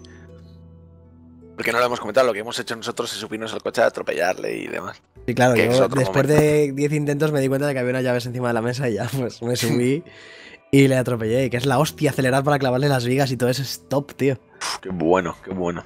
Y luego ya y todo, cuando explota, cuando sale ardiendo del Eso, coche. sí. Y cuando vas a subir la escalera, te coge el arma y se pega un tiro en la boca. Es la diciendo, Dios polla. mío, qué Es que eso- bueno es esto. Eso es la polla decir, pero, pero qué locura es esto. Y vas a mirar el cadáver y ves que se mueve, que se está moviendo la cara y Sí, yo sí. ¡ah! salí corriendo como Sí. un desgraciado, ¿eh? Sobre todo ese, ese enfrentamiento con ese boss y bueno, y con él mismo después, que ya Oh. es eso también una locura. Es el personaje que más mola, ¿eh? Porque la vieja mola. La vieja mola. Pero, Pero este, las dos él- combates, tío, es la, la demencia absoluta, tío. La serie este B llevada al extremo. El padre chalao con los comentarios que tiene. Ven aquí, Sí. eh, te voy a coger y diciéndote mierda. Y te voy a acabar matando, da igual donde vayas, sí, que te vas a morir aquí todo el rato, te está diciendo. Lo dice justo al final del segundo Es enfrentamiento. tan bueno, tan bueno, joder. Pero sí, ahí ya, al acabar ese, ese boss ya tienes, pues ya te había dado un cuchillo el policía, empiezas a poder hacer más cosas y... Claro, ya tienes ya- el acceso, ya tienes una pipa y el acceso a toda la casa, ya puedes explorar lo que hemos hablado antes, ¿no? Claro. Y ya ahí por distintas empieza el, habitaciones el y- rollo del puzzle, la escalera al sótano, que ya te puedes imaginar que, que lo que que, hay ahí abajo. está lleno de, de chapapote, bichos de chapapote. que ¿Qué te parece el diseño de estos bichos a ti? A mí sí me gusta. No Está me, bien. No me lo que pasa es que es repetitivo, ¿no? Que Lo que solo es que salen 15 Claro. en esa habitación y luego no sale otro tipo de enemigo durante todo el juego. Ese es el Ese, problema. ese es el enemigo, es como el zombie del juego. Y me el gusta zombie- el diseño, que no me parece tampoco una genialidad, porque al final es un, un ñordo negro con dientes. Sí. Pero me mola, ¿no? Cómo se crea, cómo se mueve. Está guay las animaciones. Me gustan esos, pero los de después no. ¿Cuál? Los El Lickers. boomer ese que explota, que parece del Left Ah, 4 Dead eso es 4. Left 4 Dead, totalmente. el- el- esos me parecen una puta mierda increíble. Sí, sí. Y joder, otro, otro tipo de bicho, algo más mal rollero incluso hubiera molado. Falta, falta variedad de enemigos, yo creo, ¿no? Sí. Aparte Falta, de la falta. familia Baker, que es la que tiene la Es personalidad. lo mejor. guay. Sí, porque sobre todo luego también el, encont- el encontrarte con la niña pequeña y, toda la fase de su habitación y todo eso me parece acojonante. Sí, ahora, ahora llegamos porque eso es de lo Pero sí, yo, eh, desbloqueando y abriendo la casa y en- en- en- entendiendo su puzzle, ya ves una declaración de intenciones absoluta al ver la escopeta y que si la quitas se cierra la puerta, es un guiño absoluto ahí a Resident Evil 1. Cuando ya y- coges la escopeta por fin y todo. Claro, ya. Ves ahí que que, de arriba hecho puedes parte- coger. mm, Puedes poner dos escopetas, hay dos escopetas, no sé si lo has hecho tú. ¿Cómo que dos? Hay dos escopetas y que además eh, las puedes ir poniendo porque hay una que vale para hacer sombra y una mierda, una movida. Y te dan dos escopetas diferentes. Ya, bueno, no sabía yo eso. Sí, sí. Ahí tienes esas cosillas, ¿no? De investigar un montón del escenario y ver qué hay más cositas. Sí, siempre la ha tenido Resident. Eso es muy Resident, es lo que hablábamos. Hay ¿no? por ahí pistas de, de cosas ocultas, ya sea para, para bonificar tu, tu vida o tu velocidad de recarga. En de esos primeros momentos en el sótano, yo son los momentos que más putas las he pasado, ¿eh? Sí. Son dificilillos, hay pocas balas. Luego te van dando ¿eh? más balas, pero. de decir, pero uff, pero ¿cómo me voy a De tirar a tener esta que gente? tirar del cuchillo, eso es jodido. Joder. Y la Y sala bueno- de los, de los, estas de las, donde se guardan los cadáveres, tío, también es la polla. Joder, qué bueno cuando te sale ese, cuando abres la. haces el mini puzzle ese de las. del depósito de cadáveres Eso es. y te sale el bicho ahí con los dientes y no ves menudo bote pegué, hijos de puta. la sala de calderas, que de repente te salen tres, es que... Joder. Y todo eso, pues, claro, previa al boss, al, al, al Baker que ya te habías cargado en el garaje que aparece ahí. Que vuelve ahí, que bueno, ya te estaba persiguiendo por toda la casa, pero ahora vuelve y te echan un ring con una motosierra. Es que eso es, es. es espectacular. Porque claro, tú necesitas tener tres cabezas de perro en de un típico Para de figuras para sí. irte de la casa, que es tu objetivo prioritario. Pero, joder, ese enfrentamiento con las motosierras, qué violencia y qué serie guay. B y qué tono y qué, qué, qué cero censura, tío. Qué manera de temblarme las manos del, del, del subidón que te da ese momento de, de gritar y decir, te voy a matar, hijo de la gran puta, te atravieso la cara con, con la puta motosierra, tío. Y así es. grande. Y así le haces, le, le atraviesas la cara con la motosierra, pero le sale un tumor al que le vuelves a meter la motosierra ahí, todo lleno de sangre, de sangre. Joder. buah, y gritándote, de- diciéndote de frases. ese combate es espectacular. Yo ahí dije, madre mía, pero este juego, lo más grande que se ha hecho. Hostias. Justo me acuerdo que me escribiste diciendo, ¿pero qué es esto? Y tú diciéndome, ¿pero cómo se puede ir a la mierda? Que lo que estoy jugando es lo más grande de la Tal vida. cual fue así, solo así. sí. Y yo te decía, es que es verdad, es que lo que estás jugando es lo más grande de la vida, tío. Terminas el combate además y subes por las escaleras y oyes a la vieja cantando ahí súper creepy y tú. Sí, sí. Qué bueno, Hostias. La Luego vieja, ya- me encanta, tío, me encanta. La vieja que te vaya saliendo por toda la puta casa es genial. Ay, había veces que me ha dado sustos, porque una vez aparece arriba en la- antes de entrar a las habitaciones de frente, justo esa escalera, y, digo, ¡ah! y la veo de frente y digo, "Hostia, otra vez. Hija de Además es que estás esperando todo el rato a que te salte en algún momento y no la quieres dar la espalda por el mal rollo que da mirándote con esa cara de loca. Sí, te, das- te vas Qué lejos, te das la vuelta y, piensas, seguirá mirándome y sí, joder, Sí, te está sí. mirando todo Hija de puta. Y bueno, ya te abres las puertas, puedes salir y puedes explorar un poquito más el jardín. Tienes ahí una caravana que es como el punto de referencia de toda la casa, tu zona segura en la que tienes una, una zona de guardado, un- Pistolas, unos candados mierdas. para desbloquear con monedas antiguas que te dan pistolas, bonus y tal. Una tele para las cintas que encuentras. Es verdad, hemos comentado de las cintas, claro. Joder. Que me parece es- estupendo y genial hasta que abusan. Yo no creo que abusen. Yo creo que la cuarta cinta, tío, hay ya. poquitas, hay muy poquitas. De hecho, hay cuatro nada más, ¿no? Sí, pero cada, cada cinta son 40, no sé, 30 minutos o más. No sé, a mí me parece que plantean cosas diferentes a lo que estás jugando. En el primero te plantean vivir una situación más Eso sí, la ambiental. primera es increíble. primera es genial. y La del puzzle del hermano también está bien. Pero... El puzzle del hermano está muy bien para resolver el puzzle siguiente. La anterior te plantea un rollo más Outlast o más pero la- amnesia de sí, esconderte eso solo. es que la está bien. Pero la del final, tío. Al final es un flashback. Sí. Y es más de historia que otra cosa y con más acción, pero, pero no me parece mal. También es un cambio de aires. No lo vi mal. A mí me mola que más que La más hubieran- sosa, quizás. Esa se la podían haber ahorrado y hubieran quedado mejor. Desde mi punto de vista. Porque tener que contarte una historia jugándola otra vez, en plan, ya. No sé. Una historia de mierda, claro. Ese es el rollo. El problema es que es una historia de mierda, a lo mejor. Sí, pero vamos, bueno. tampoco tiene nada, ninguna revelación interesante, desde luego. Al salir al patio ya tienes la opción de ir a la casa del lago esa que tienes ahí, que ya esa es la zona más asquerosa de todo el juego.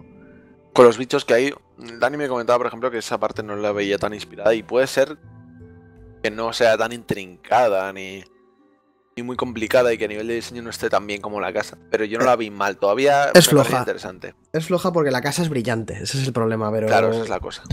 Pero sí, es floja, pero lo que pasa que sí que sirve para seguir. Sirve para seguir en el tono de Resident Evil 7. En plan. La típica cabaña que está en el coberti- en el, en el laguito ahí, en el, en el, Sí. en el muelle, y, lleno de mierda y de animales Y los bichos que sí que dan juego y dan mal rollo, los cabrones. Y que en VR, como comentábamos, eso tiene que ser un escándalo. Que te merezcan los bichos ahí en, en, en- enfrente de la cámara, joder. Y ahí empieza tu enfrentamiento con, con la vieja. El- los primeros. Los primeros. eh, los primeros momentos con ella o contra ella que, que ya Con el a- farolillo. van a- te indican que no tienen absolutamente nada que ver con, con el, con el anterior boss, con el el padre. padre, de Baker. No me, claro, no intimida tanto porque es una vieja con un farolillo. Claro, y que te tira Pero claro, luego ya ves la segunda fase de la vieja y joder. Vale, sobre todo ahora ya empieza a meterte en el contexto cuando el- te, te caes en el agujero y te empieza a atacar desde arriba. Y luego ya se cae, se te cae encima. Me parece, eso me parece brillante, por cierto. Te cae te cae encima. y tú, Dios, por la escalera te vas corriendo. Si empieza a subir el agua negra esa y dices, uy, yo me voy de aquí, Y, algo va a pasar. Claro, claro. Ya tienes que volver para coger su farol y ves cómo está viva. O sea, que se lleva el fa- Ese me parece también la hostia. Cuando ves el brazo salir y coge el farol, me cago en la puta, que escalofríos. Y cuando met- bajas y la ves claro. corriendo por el. Oh, Dios. Se va huyendo ahí en forma que no es una normal, su forma normal, por así decirlo. Desde luego, bueno. Qué mal rollo. Y, y es la polla, porque además la iluminación del juego es brillante, es la polla. Eh, No hemos hablado de lo técnico, es verdad. Técnicamente está bastante bien. Está bien para lo que es, porque no se es nota un, eso, lo que hablamos. Se nota que es- está diseñado un poco para VR en ese sentido. Y, joder, hasta en las tira en, a 60 fotogramas por segundo. Y, y hay texturas que son un poquito tal, además tardan en cargar. No es un juego puntero, pero es lo que decimos. Entre la ambientación y la iluminación. La iluminación lo maquilla todo perfectamente, yo creo. El desenfoque está muy bien. Está Luce bien. muy bien, sí, sí. Excepto luego momentos que los podemos comentar, pero bueno. Y luego ya el enfrentamiento contra ella, transformada en, en bicha gigante araña, que es Joder. otro, el, el- el último enfrentamiento guapo del juego, que es un mal rollo espectacular. Podría decirse que hasta el último buen momento del juego para mí. Bueno, luego está la niña, que eso me mola. Ah, verdad, que queda la niña. Sí, sí, pensaba que ya era la de las tarjetas, es verdad. Sí, sí, sí. Sí, sí, pues ese, ese enfrentamiento de la tía es la hostia. Además, por la poca visibilidad de la casa, que a mí, al ser una especie de casa hecha mierda, me recordaba a los momentos de la bruja de Blair, con la luz de la cámara, tío, que enfocabas a la pared, no veías nada en los laterales, veías de repente una pierna larga, como en el final de Rec. También Sí, que se verdad, parece sí. a la, a la. ¿Cómo se llama? A la de Medeiros. Medeiros. Sí, sí, sí. El diseño ahí andando así. Joder, una pata larga aquí. ¿Qué es esto? A mí me encanta tío? por eso, porque además se esconde en todas partes. A veces la ves acechándote que se le cae la baba como si fuera el alien de Alien Isolation. Sí, Se esconde por todas partes. Si se va, crea nidos y te, y te atacan los bichos. El Es un combate súper dinámico y mal rollero que te cagas. Primer susto que te da en la ventana, ese es top también, ¿eh? Uf, eso es de infarto, de morirte ahí en la, en la silla, qué horror. Muy bien, muy bien. Ese combate está bastante bien. Combate Metiéndole fuego, vaciando el cargador de lanzallamas, tú corriendo detrás, crafteándote pociones en tiempo real. En plan, es la hija de puta por ahí ese dándose paseo para arriba y para abajo, dos Y plantas. encima, joder, es dificililla. ¿eh? Sí. Es dificililla. A mí yo me la metí la primera, pero. pero es Bueno, yo la segunda, pero quiero decir, gasté 400.000 cartuchos baja- lo la pala que tenía, Lo hacías todo, tío, en cada enfrentamiento, todo. Menos los primeros. Luego... eh. Y bueno, ya vamos a la parte en la que te vas enterando un poquito más del argumento, que de repente aparece una niña que no tenías ni idea hasta, hasta ese momento de que estaba. Claro.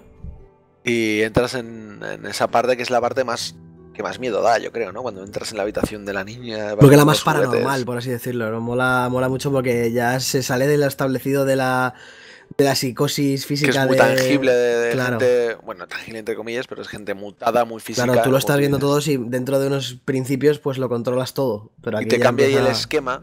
Y mola mucho que te cambie el tono de esa manera en ese momento. Está bastante bien medido.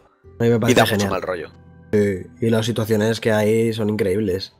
Sí, sí, sí, sí. sí. En plan, al, salir de- al entrar a la habitación, cómo se para todo y te dice, vete de aquí. Y dices, hostias, ¿qué está pasando Miedo. aquí? Esto yo no lo he visto, esto es nuevo, esto es nuevo. ¿Qué más puede pasar aquí? Espíritus, ¿qué está pasando, por Dios? Pues esa, esa parte me parece muy, muy buena. Y luego ya empieza un poco la decadencia con lo que dices tú. Uf, Con lo del hermano, que es el miembro de la familia más. Que se crea un poco el Jisoo de, de Shaw. Es igual. Haciendo las trampas y. Ahí ya empiezas a ver, eh, sobre todo Empiezas de ver- escenarios y de los enemigos y. Que la cosa va un poquito decae. No, yo qué sé, el puzzle no me parece que esté mal. Cuando te metes en la jaula esa. ¿Puzzle del tiempo? Sí, Bueno, no está mal, pero todo lo previo, toda la yencana, esa estúpida de las trampas de los hilos y los enemigos clónicos uno detrás de otro, me parecen una mierda. Nah, eso es genérico total. Eso es genérico de, de que te ya- meta encerrado y suene música y te saque el bicho ese que te escupe. Yo ahí ya dije, esto se ha ido a la mierda. Yo ahí, Ahí, ya era ahí ves que, que de repente ha perdido un poco el rumbo Sí, a nivel, un lo que hablamos, a nivel artístico, a nivel de, de hacia dónde se enfoca el juego. Ves que como que no he sabido muy bien hacia dónde tirar. Y a mí Y ya ahí se ya... nota de relleno, ¿no? Y sin personalidad ninguna el escenario, cero. Insulso, de un madera, granero ahí de mierda, sí, sí. granero random con enemigos otra vez que has visto 40 veces. No me, no me gustó para nada. Y el rollito del este, como, a ver, la intención no está mal, pero se queda un poco soso también, lo de que quiera eh, ser el niño que hace trampas y toda esta mierda. Que luego, por cierto, es el personaje, ya que estamos en spoilers, que desaparece total, no se sabe qué ha pasado con él. El, el hijo, ¿no? Es verdad. No, ese hace, hace mutis por el foro. No, no sé qué pasa con él. Se lo... Ese eh, para una secuela a lo mejor lo dejan o para Espero un que no, para un DLC. Sí que hay una. hay un guiño a un. no sé si recordáis una, un libro una- y una película de. El libro de Stephen King se hizo una película que se llamaba 1408, Mm. Que era de, de una habitación de hotel de un escritor, no sé si era. Era John Cusack, me parece. Sí, aunque Era una habitación que se, se metían y la gente se. se- había cosas paranormales. Flipaba. Y la habitación cuadros. era. La habitación era la 1408. Yep. Y, y el tío que te encuentras ardiendo, eh, sentado, hay un tío quemado al final del puzzle que, que tiene una llave colgando del pecho, del cuello, o una carta, que es el código de, es- de- para abrir una puerta me- que hay con un. Para Ah, el código es de- 1400. Y el código es 1408. No me, no me eh, fijé yo en eso. y que ponía que tú- 1408 tú eres el siguiente, o algo así. Y además era al final de la película también eh, tenía que quemar la habitación para eliminar la maldición de la habitación. Y era un guiño Bueno. auténtico a Stephen King. Joder, hay un montón. Aparte de la matanza de Texas, lo de. De Asao es un guiño clarísimo. Me he explicado como el te culo, dice- ¿eh? Pero bueno, espero que se haya Pero se te ha entendido. entendido, se te ha entendido. Sí, sí, sí, sí, yo te he entendido al menos. estoy enfermo. Y igual lo de toda la trampa de Sao con incluso el payaso y cuando dice vamos a jugar a un juego, joder. Pues totalmente, es evidente. Me gustó el detalle ese de que el- en el presueño, bueno, en, el- en la cinta, le, le, le clave el- la, la aguja esa en el, en el brazo y le... Está súper bien. Está Verdad. guapo. La ida y la vuelta, vamos, en general. Está bien. Está bien, está bien. Y como plantean ese puzzle a través de lo de la. que ya te sepas tú el, el código y demás, está chulo. Es de las pocas cositas reseñables que yo veo de la segunda parte, me gustó bastante. Sí, esa parte está bien. Y luego ya, eh, acto seguido, te aparece el nuevo personaje, que es la, la piba esta, y el combate. pf, Joder, qué combate más malo contra el padre otra vez. Joder, eso, En ah, forma bueno, de estamos zubillo- hablando ya del, del bicho Sí. de los... Bueno, eso me pareció ya una mierda increíble. Muy malo. Muy Un malo, escenario verdad es que- diseñado como el culo, una parte arriba y una parte abajo y una escalera y ala. No, es lo más random del mundo. O sea, Es que es súper No tiene diseño de ninguno, es simplemente una parte de arriba, una de abajo. y un el bicho diseño de negro bicho con más agujeros. Random, que tiene mierda, color tío. mierda, con, con. Además, mal modelado. Es Porque que tiene, se le ve la textura medio pixelada, un poco mala, Una no en mierda PS4. increíble. Es una Te lo mierda juro, literal. ¿eh? Te lo juro, o súper sea, fácil, súper fácil, fácil, Tan imposible evidente. morir. No sé, tío. O sea, yo me acuerdo que. O sea, estaba- Resident Evil siempre ha tenido eh, bosses como muy grandes, deformes, con ojos, literalmente, en los que darle tiros. Pero estaban a nivel de diseño mejor planteados y hacían más cosas, atacaban de diferente manera y era más espectacular visualmente. Pero aquí es todo muy random y feo. No sé, tío. Yo cuando entras a la- ahí a esa parte y ya ves a tu novia y a la otra que te estaba llamando por teléfono. Y de repente ves que ¡Bum! eh, ya te hablaré contigo después. No sé qué. Y digo, ¿pero qué? Es que me acuerdo que dije en alto. Bueno, no sé. Dije en alto algo como. ¿Pero qué es esta mierda? En plan, Literal. ya había asim- asimilado que el juego se había ido a, tomar por culo. Yo ya lo sabía. Y así era. Yo ya sabía que. Tú me lo habías dicho antes, claro.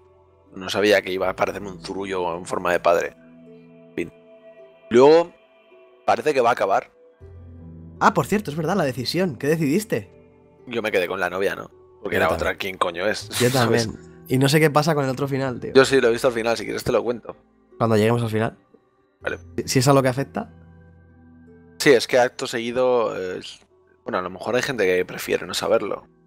Bueno, pero estamos en el podcast de spoilers. Bueno, si sea spoiler, joderos, chavales. Em, pues si te vas con ella en el, en el barco, Si te vas con la otra. con la otra directamente cuando, cuando encuentran algo en el lago que les para y ven el barco, Sí. se seca y se muere. Porque no sé. No que- por qué, ¿Cómo? pero se muere. ¿Qué? ¿Sabes cuando terminan los jefes Pero finales? cuando, cuando se tú- secan. Sí, pero espera, espera. Cuando tú eliges a, a la, a la que te llama por teléfono, que se supone que es la hija también de los Baker, ¿no? O, Sí, o alguien sí, que sí, se cura. O los que- Baker. ¿Qué haces con la novia? ¿La dejas ahí?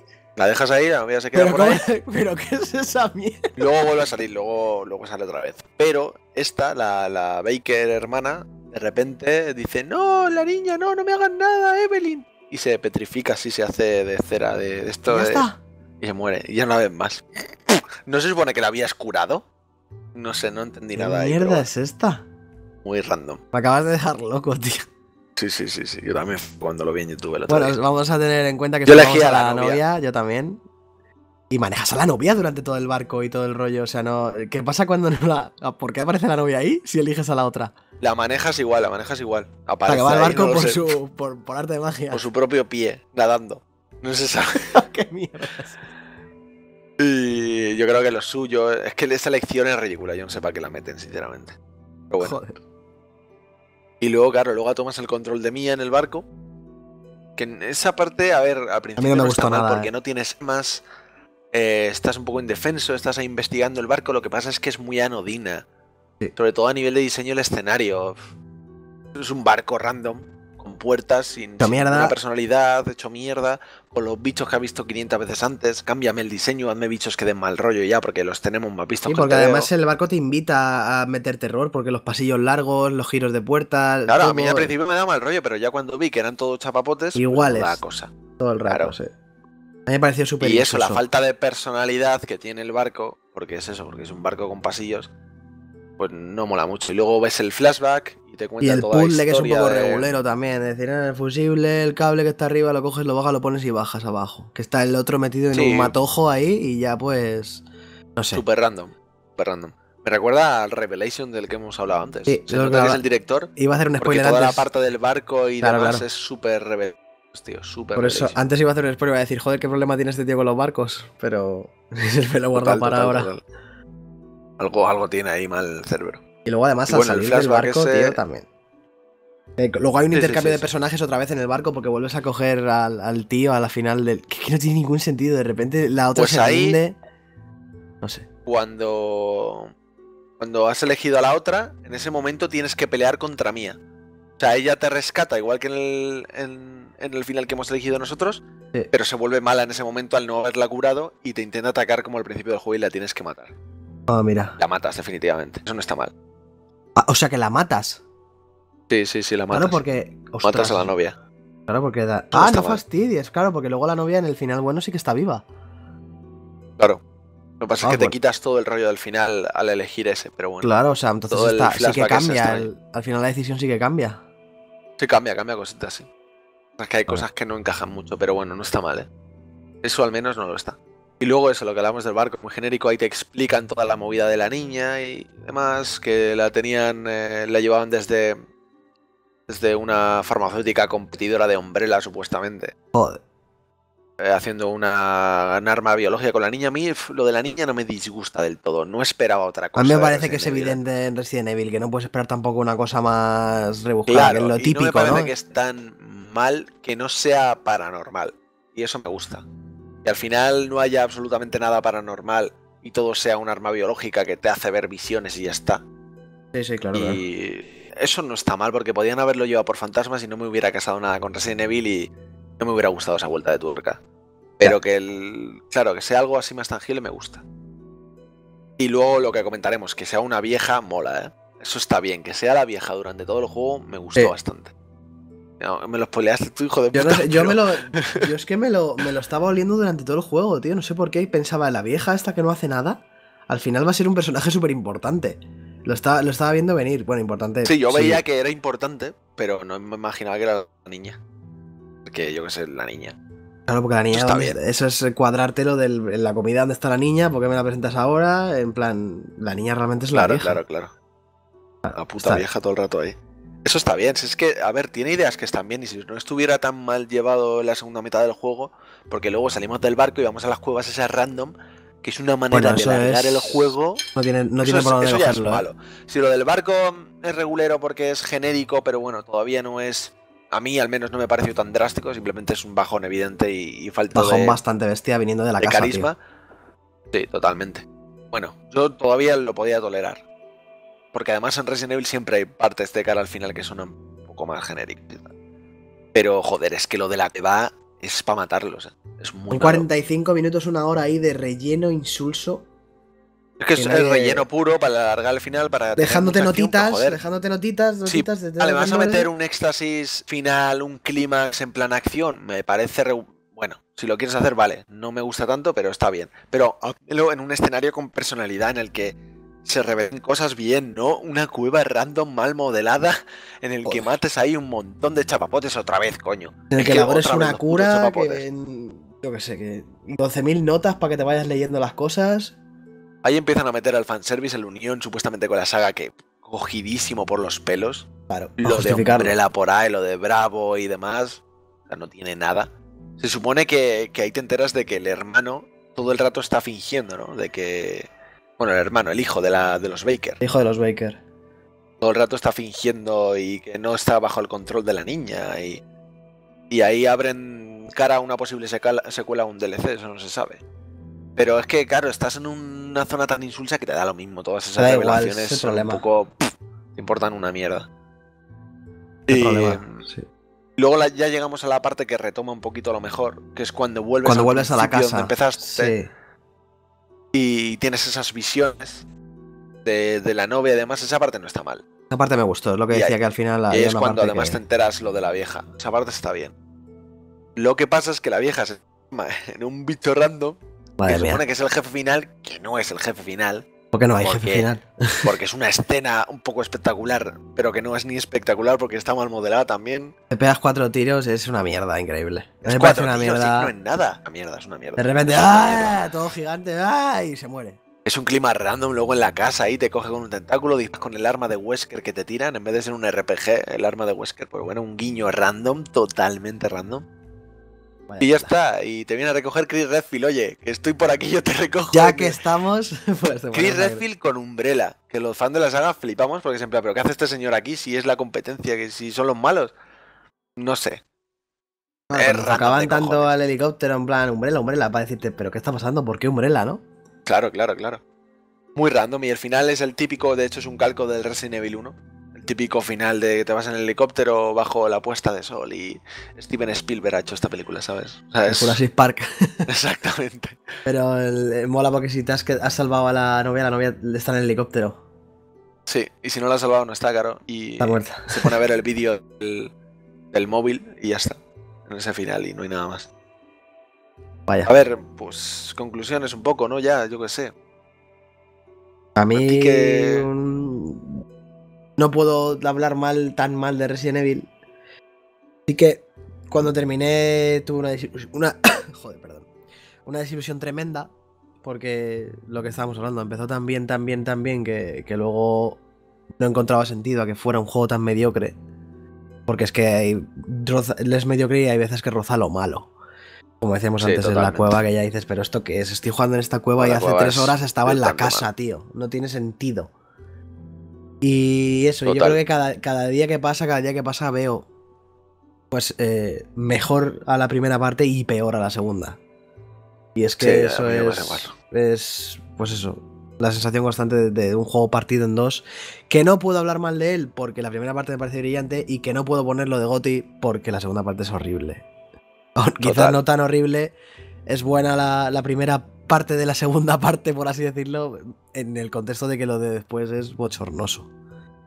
Y, y eso, es una putada, es una putada. Pero bueno, yo diría a la gente que, que, que si quiere volver a sentir cosas frescas en un juego de terror y sorprenderse, que se lo compre porque es que merece mucho la pena al principio. O sea, encarecidamente, vamos. Pero que luego no se asusten.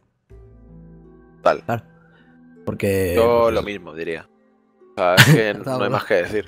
Y además es ver. eso, lo que decíamos al principio, que mantiene la esencia del Resident Evil, la primera parte sobre todo, y Claro, yo al terror. al final me quedo con eso. Y no puedo evitarlo porque vengo de Resident Evil 6. Y cualquier cambio como este es a mejor. Incluso la segunda mitad es mejor que Resident Evil 6. Mucho mejor. A eso me refiero. O sea, ese era el nivel en el que estábamos con Resident Evil 6. ¿Cómo no me voy a alegrar de que encima tengamos una primera mitad que sea tan genial? Directamente genial. Una genialidad. un- algo que se siente fresco, actual y se siente Resident Evil, que es lo más importante. Y me jode también porque además lo que te quedas al final es con ese regusto amargo del final. Claro, de rollo. pasar. Por muy bueno que sean tres horas de películas, el final es una mierda, pues te quedas con un regusto súper amargo. Y encima veo potencial, incluso en el guion que es Super Resident Evil, Super Serie B, me gusta lo de la niña y lo de la vieja y tal cual. O sea, que son cosas que, que creo que si no fuera porque creo que le ha faltado a lo mejor tiempo al desarrollo e incluso inspiración para meter nuevas situaciones jugables y sobre todo nuevos escenarios que no sean lo más insulso del universo, pues podía haber llegado a ser una puta maravilla como estaba sucediendo al principio. Es que yo creo que eso le ha faltado tiempo e inspiración. Tiempo, ¿tú crees que yo creo que es más inspiración que tiempo, eh?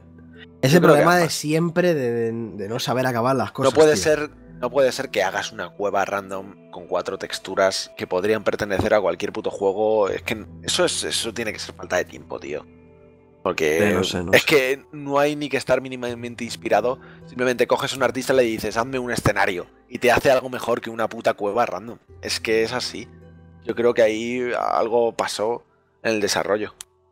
Y pasa mucho con Japón, que Capcom quiere llegar a cierta fecha límite y te dice, venga, esto ya, sácalo ya, hazme lo que sea.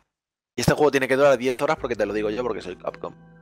Y yo creo que es lo que pasa. Ahora en Japón, como tienen a estos directivos tan restrictivos de mierdas y están mirando por el mercado y cuando tiene que salir este juego y tal, pues otro caso de estos de juego mal hecho en su parte final. Es que siempre pasa igual. En este caso no es como Final Fantasy XV, que es un Terminator. Que no puedo decir que haya falta de inspiración, o de- porque al principio veo tanto talento y tanta inspiración que no puede ser que de repente ¡puf! se convirtió en Chocobi, ¿sabes? No puede ser. Claro, no, algo, es, que es- algo ha pasado ahí. es incomprensible, por eso te digo que no sé. Claro, tío. Tanto talento para hacer lo del principio y. ¿Qué ha pasado? Se ha dado una, una embolia a todos. Claro, no puede ser, no puede ser que el mundo haya perdido ahí el norte. No sé. Pero Chus bueno, creo que ya está por ahí. conclusión, Sí, No sé si Joan también. Puede que haya caído en coma. Ha caído en combate. Así que nada. hombre, ahí el aviso. En conclusión, eso es lo que estábamos hablando. Que. Una lástima y, y también, pues, una, un atisbo de, de esperanza, porque yo qué sé. Total. A Japón ver, es un haciendo esas contraste muy cosas. grande. Es como una lástima por lo que podía haber sido el juego en sí y una sorpresa por lo que Por ha lo sido que y lo que nos ha sorprendido también. Es Claro. como unas, no sé, sensaciones encontradas a lo bestia. De toda la vida, A lo bestia. de arena. Sí, sí, Pero bueno, esperanza. para mí esperanza. la balanza positiva, desde luego. ¿eh? Sí, lo bueno, es, Positiva lo bueno es mejor que lo Resident que Evil malo lo 6 a esto. Claro, claro, eso es. Así que lo recomendamos desde aquí. y Resident Evil ha vuelto gran parte a lo que, a lo que le hacía especial para mí. Y bueno, si jugáis las cinco primeras horas, pues ya está, de puta madre. Joder, pues o sí, más, ¿no? poca cosa más. Joder, pues estoy por acabar la casa y desinstalar. Por, No, como no. lo habéis dejado al final. Nada como la opinión de cada uno, amigos. Eso es, Sí. eso es. No es tan drástico, ¿eh? Tampoco. No es tan joder, dramático. es, no es Final Veremos Fantasy. XV, coño. No es Resident Evil 6, eso está claro. Claro, claro. Así que eso. Yo creo que hay poca cosa más, que ¿no? hasta aquí el especial de Resident Evil. Ya sabéis que podéis encontrarnos en Twitter y en Instagram como este awake barra baja es, que ahora también estamos en YouTube, que estamos en iBox y en, en iTunes, suscribiros al podcast y en el cajón de comentarios ponernos cosas, tanto en YouTube como en, como en iBox, ponernos cuál es vuestro Resident favorito y por qué, es, qué os, qué ha parecido el Resident Evil 7, Feedback. cosas así, que nos gusta mucho leer. Feedback, que, chicos, comentándonos que el final y lo que os ha parecido. que le cambiaríais, 7. cosas así, cosas que, que os gusten. El flequillo dando tiros. que nos gusta leeros y nos gusta ese feedback porque nos motiva a seguir a- con esto. Así que poca cosa más, ¿no? Ya está, ya está. Hasta aquí nuestro especial. La semana que viene vendremos con. A ver, No se sabe qué. ¿sabes? Tenemos que verlo. Joder, y Con la industria. un mes para que salga el puto mejor juego del año. Y de la historia, a Y lo de la historia, si me apuras. La cuenta atrás. No es el Horizon, eh, cabrones. El Horizon, ¿no? ¿No? ah, no es el Mass Effect, es verdad, faltan dos, tío. Mass Effect. Es el Nier. El Nio. Hostia, el Nio Nio, sale ya. ¿eh? Sí, el sale ya. 8. Sale a principios. Lo vas a pillar con dos cojonazos ahí. No lo sé, no lo sé. 30 pavos, sí. Ya veremos. Así que Bueno, nos vemos chicos. nada más la semana que viene. Ya despide tú, Dave, que es- eres tú el, el podcastero hoy. Ay, pues eh, adiós, mijo. Les queremos un montón. Resident Evil. ¡Viva! Moriré, ¡Viva Resident. Evil! Voy a hacer picadillo detrás de ti, imbécil. Vía Cope, Madrid. Lord Sattler. Mal parido. Mal parido, no lo decían, ¿eh? Spoiler. ¿Quién es Pablo Escobar?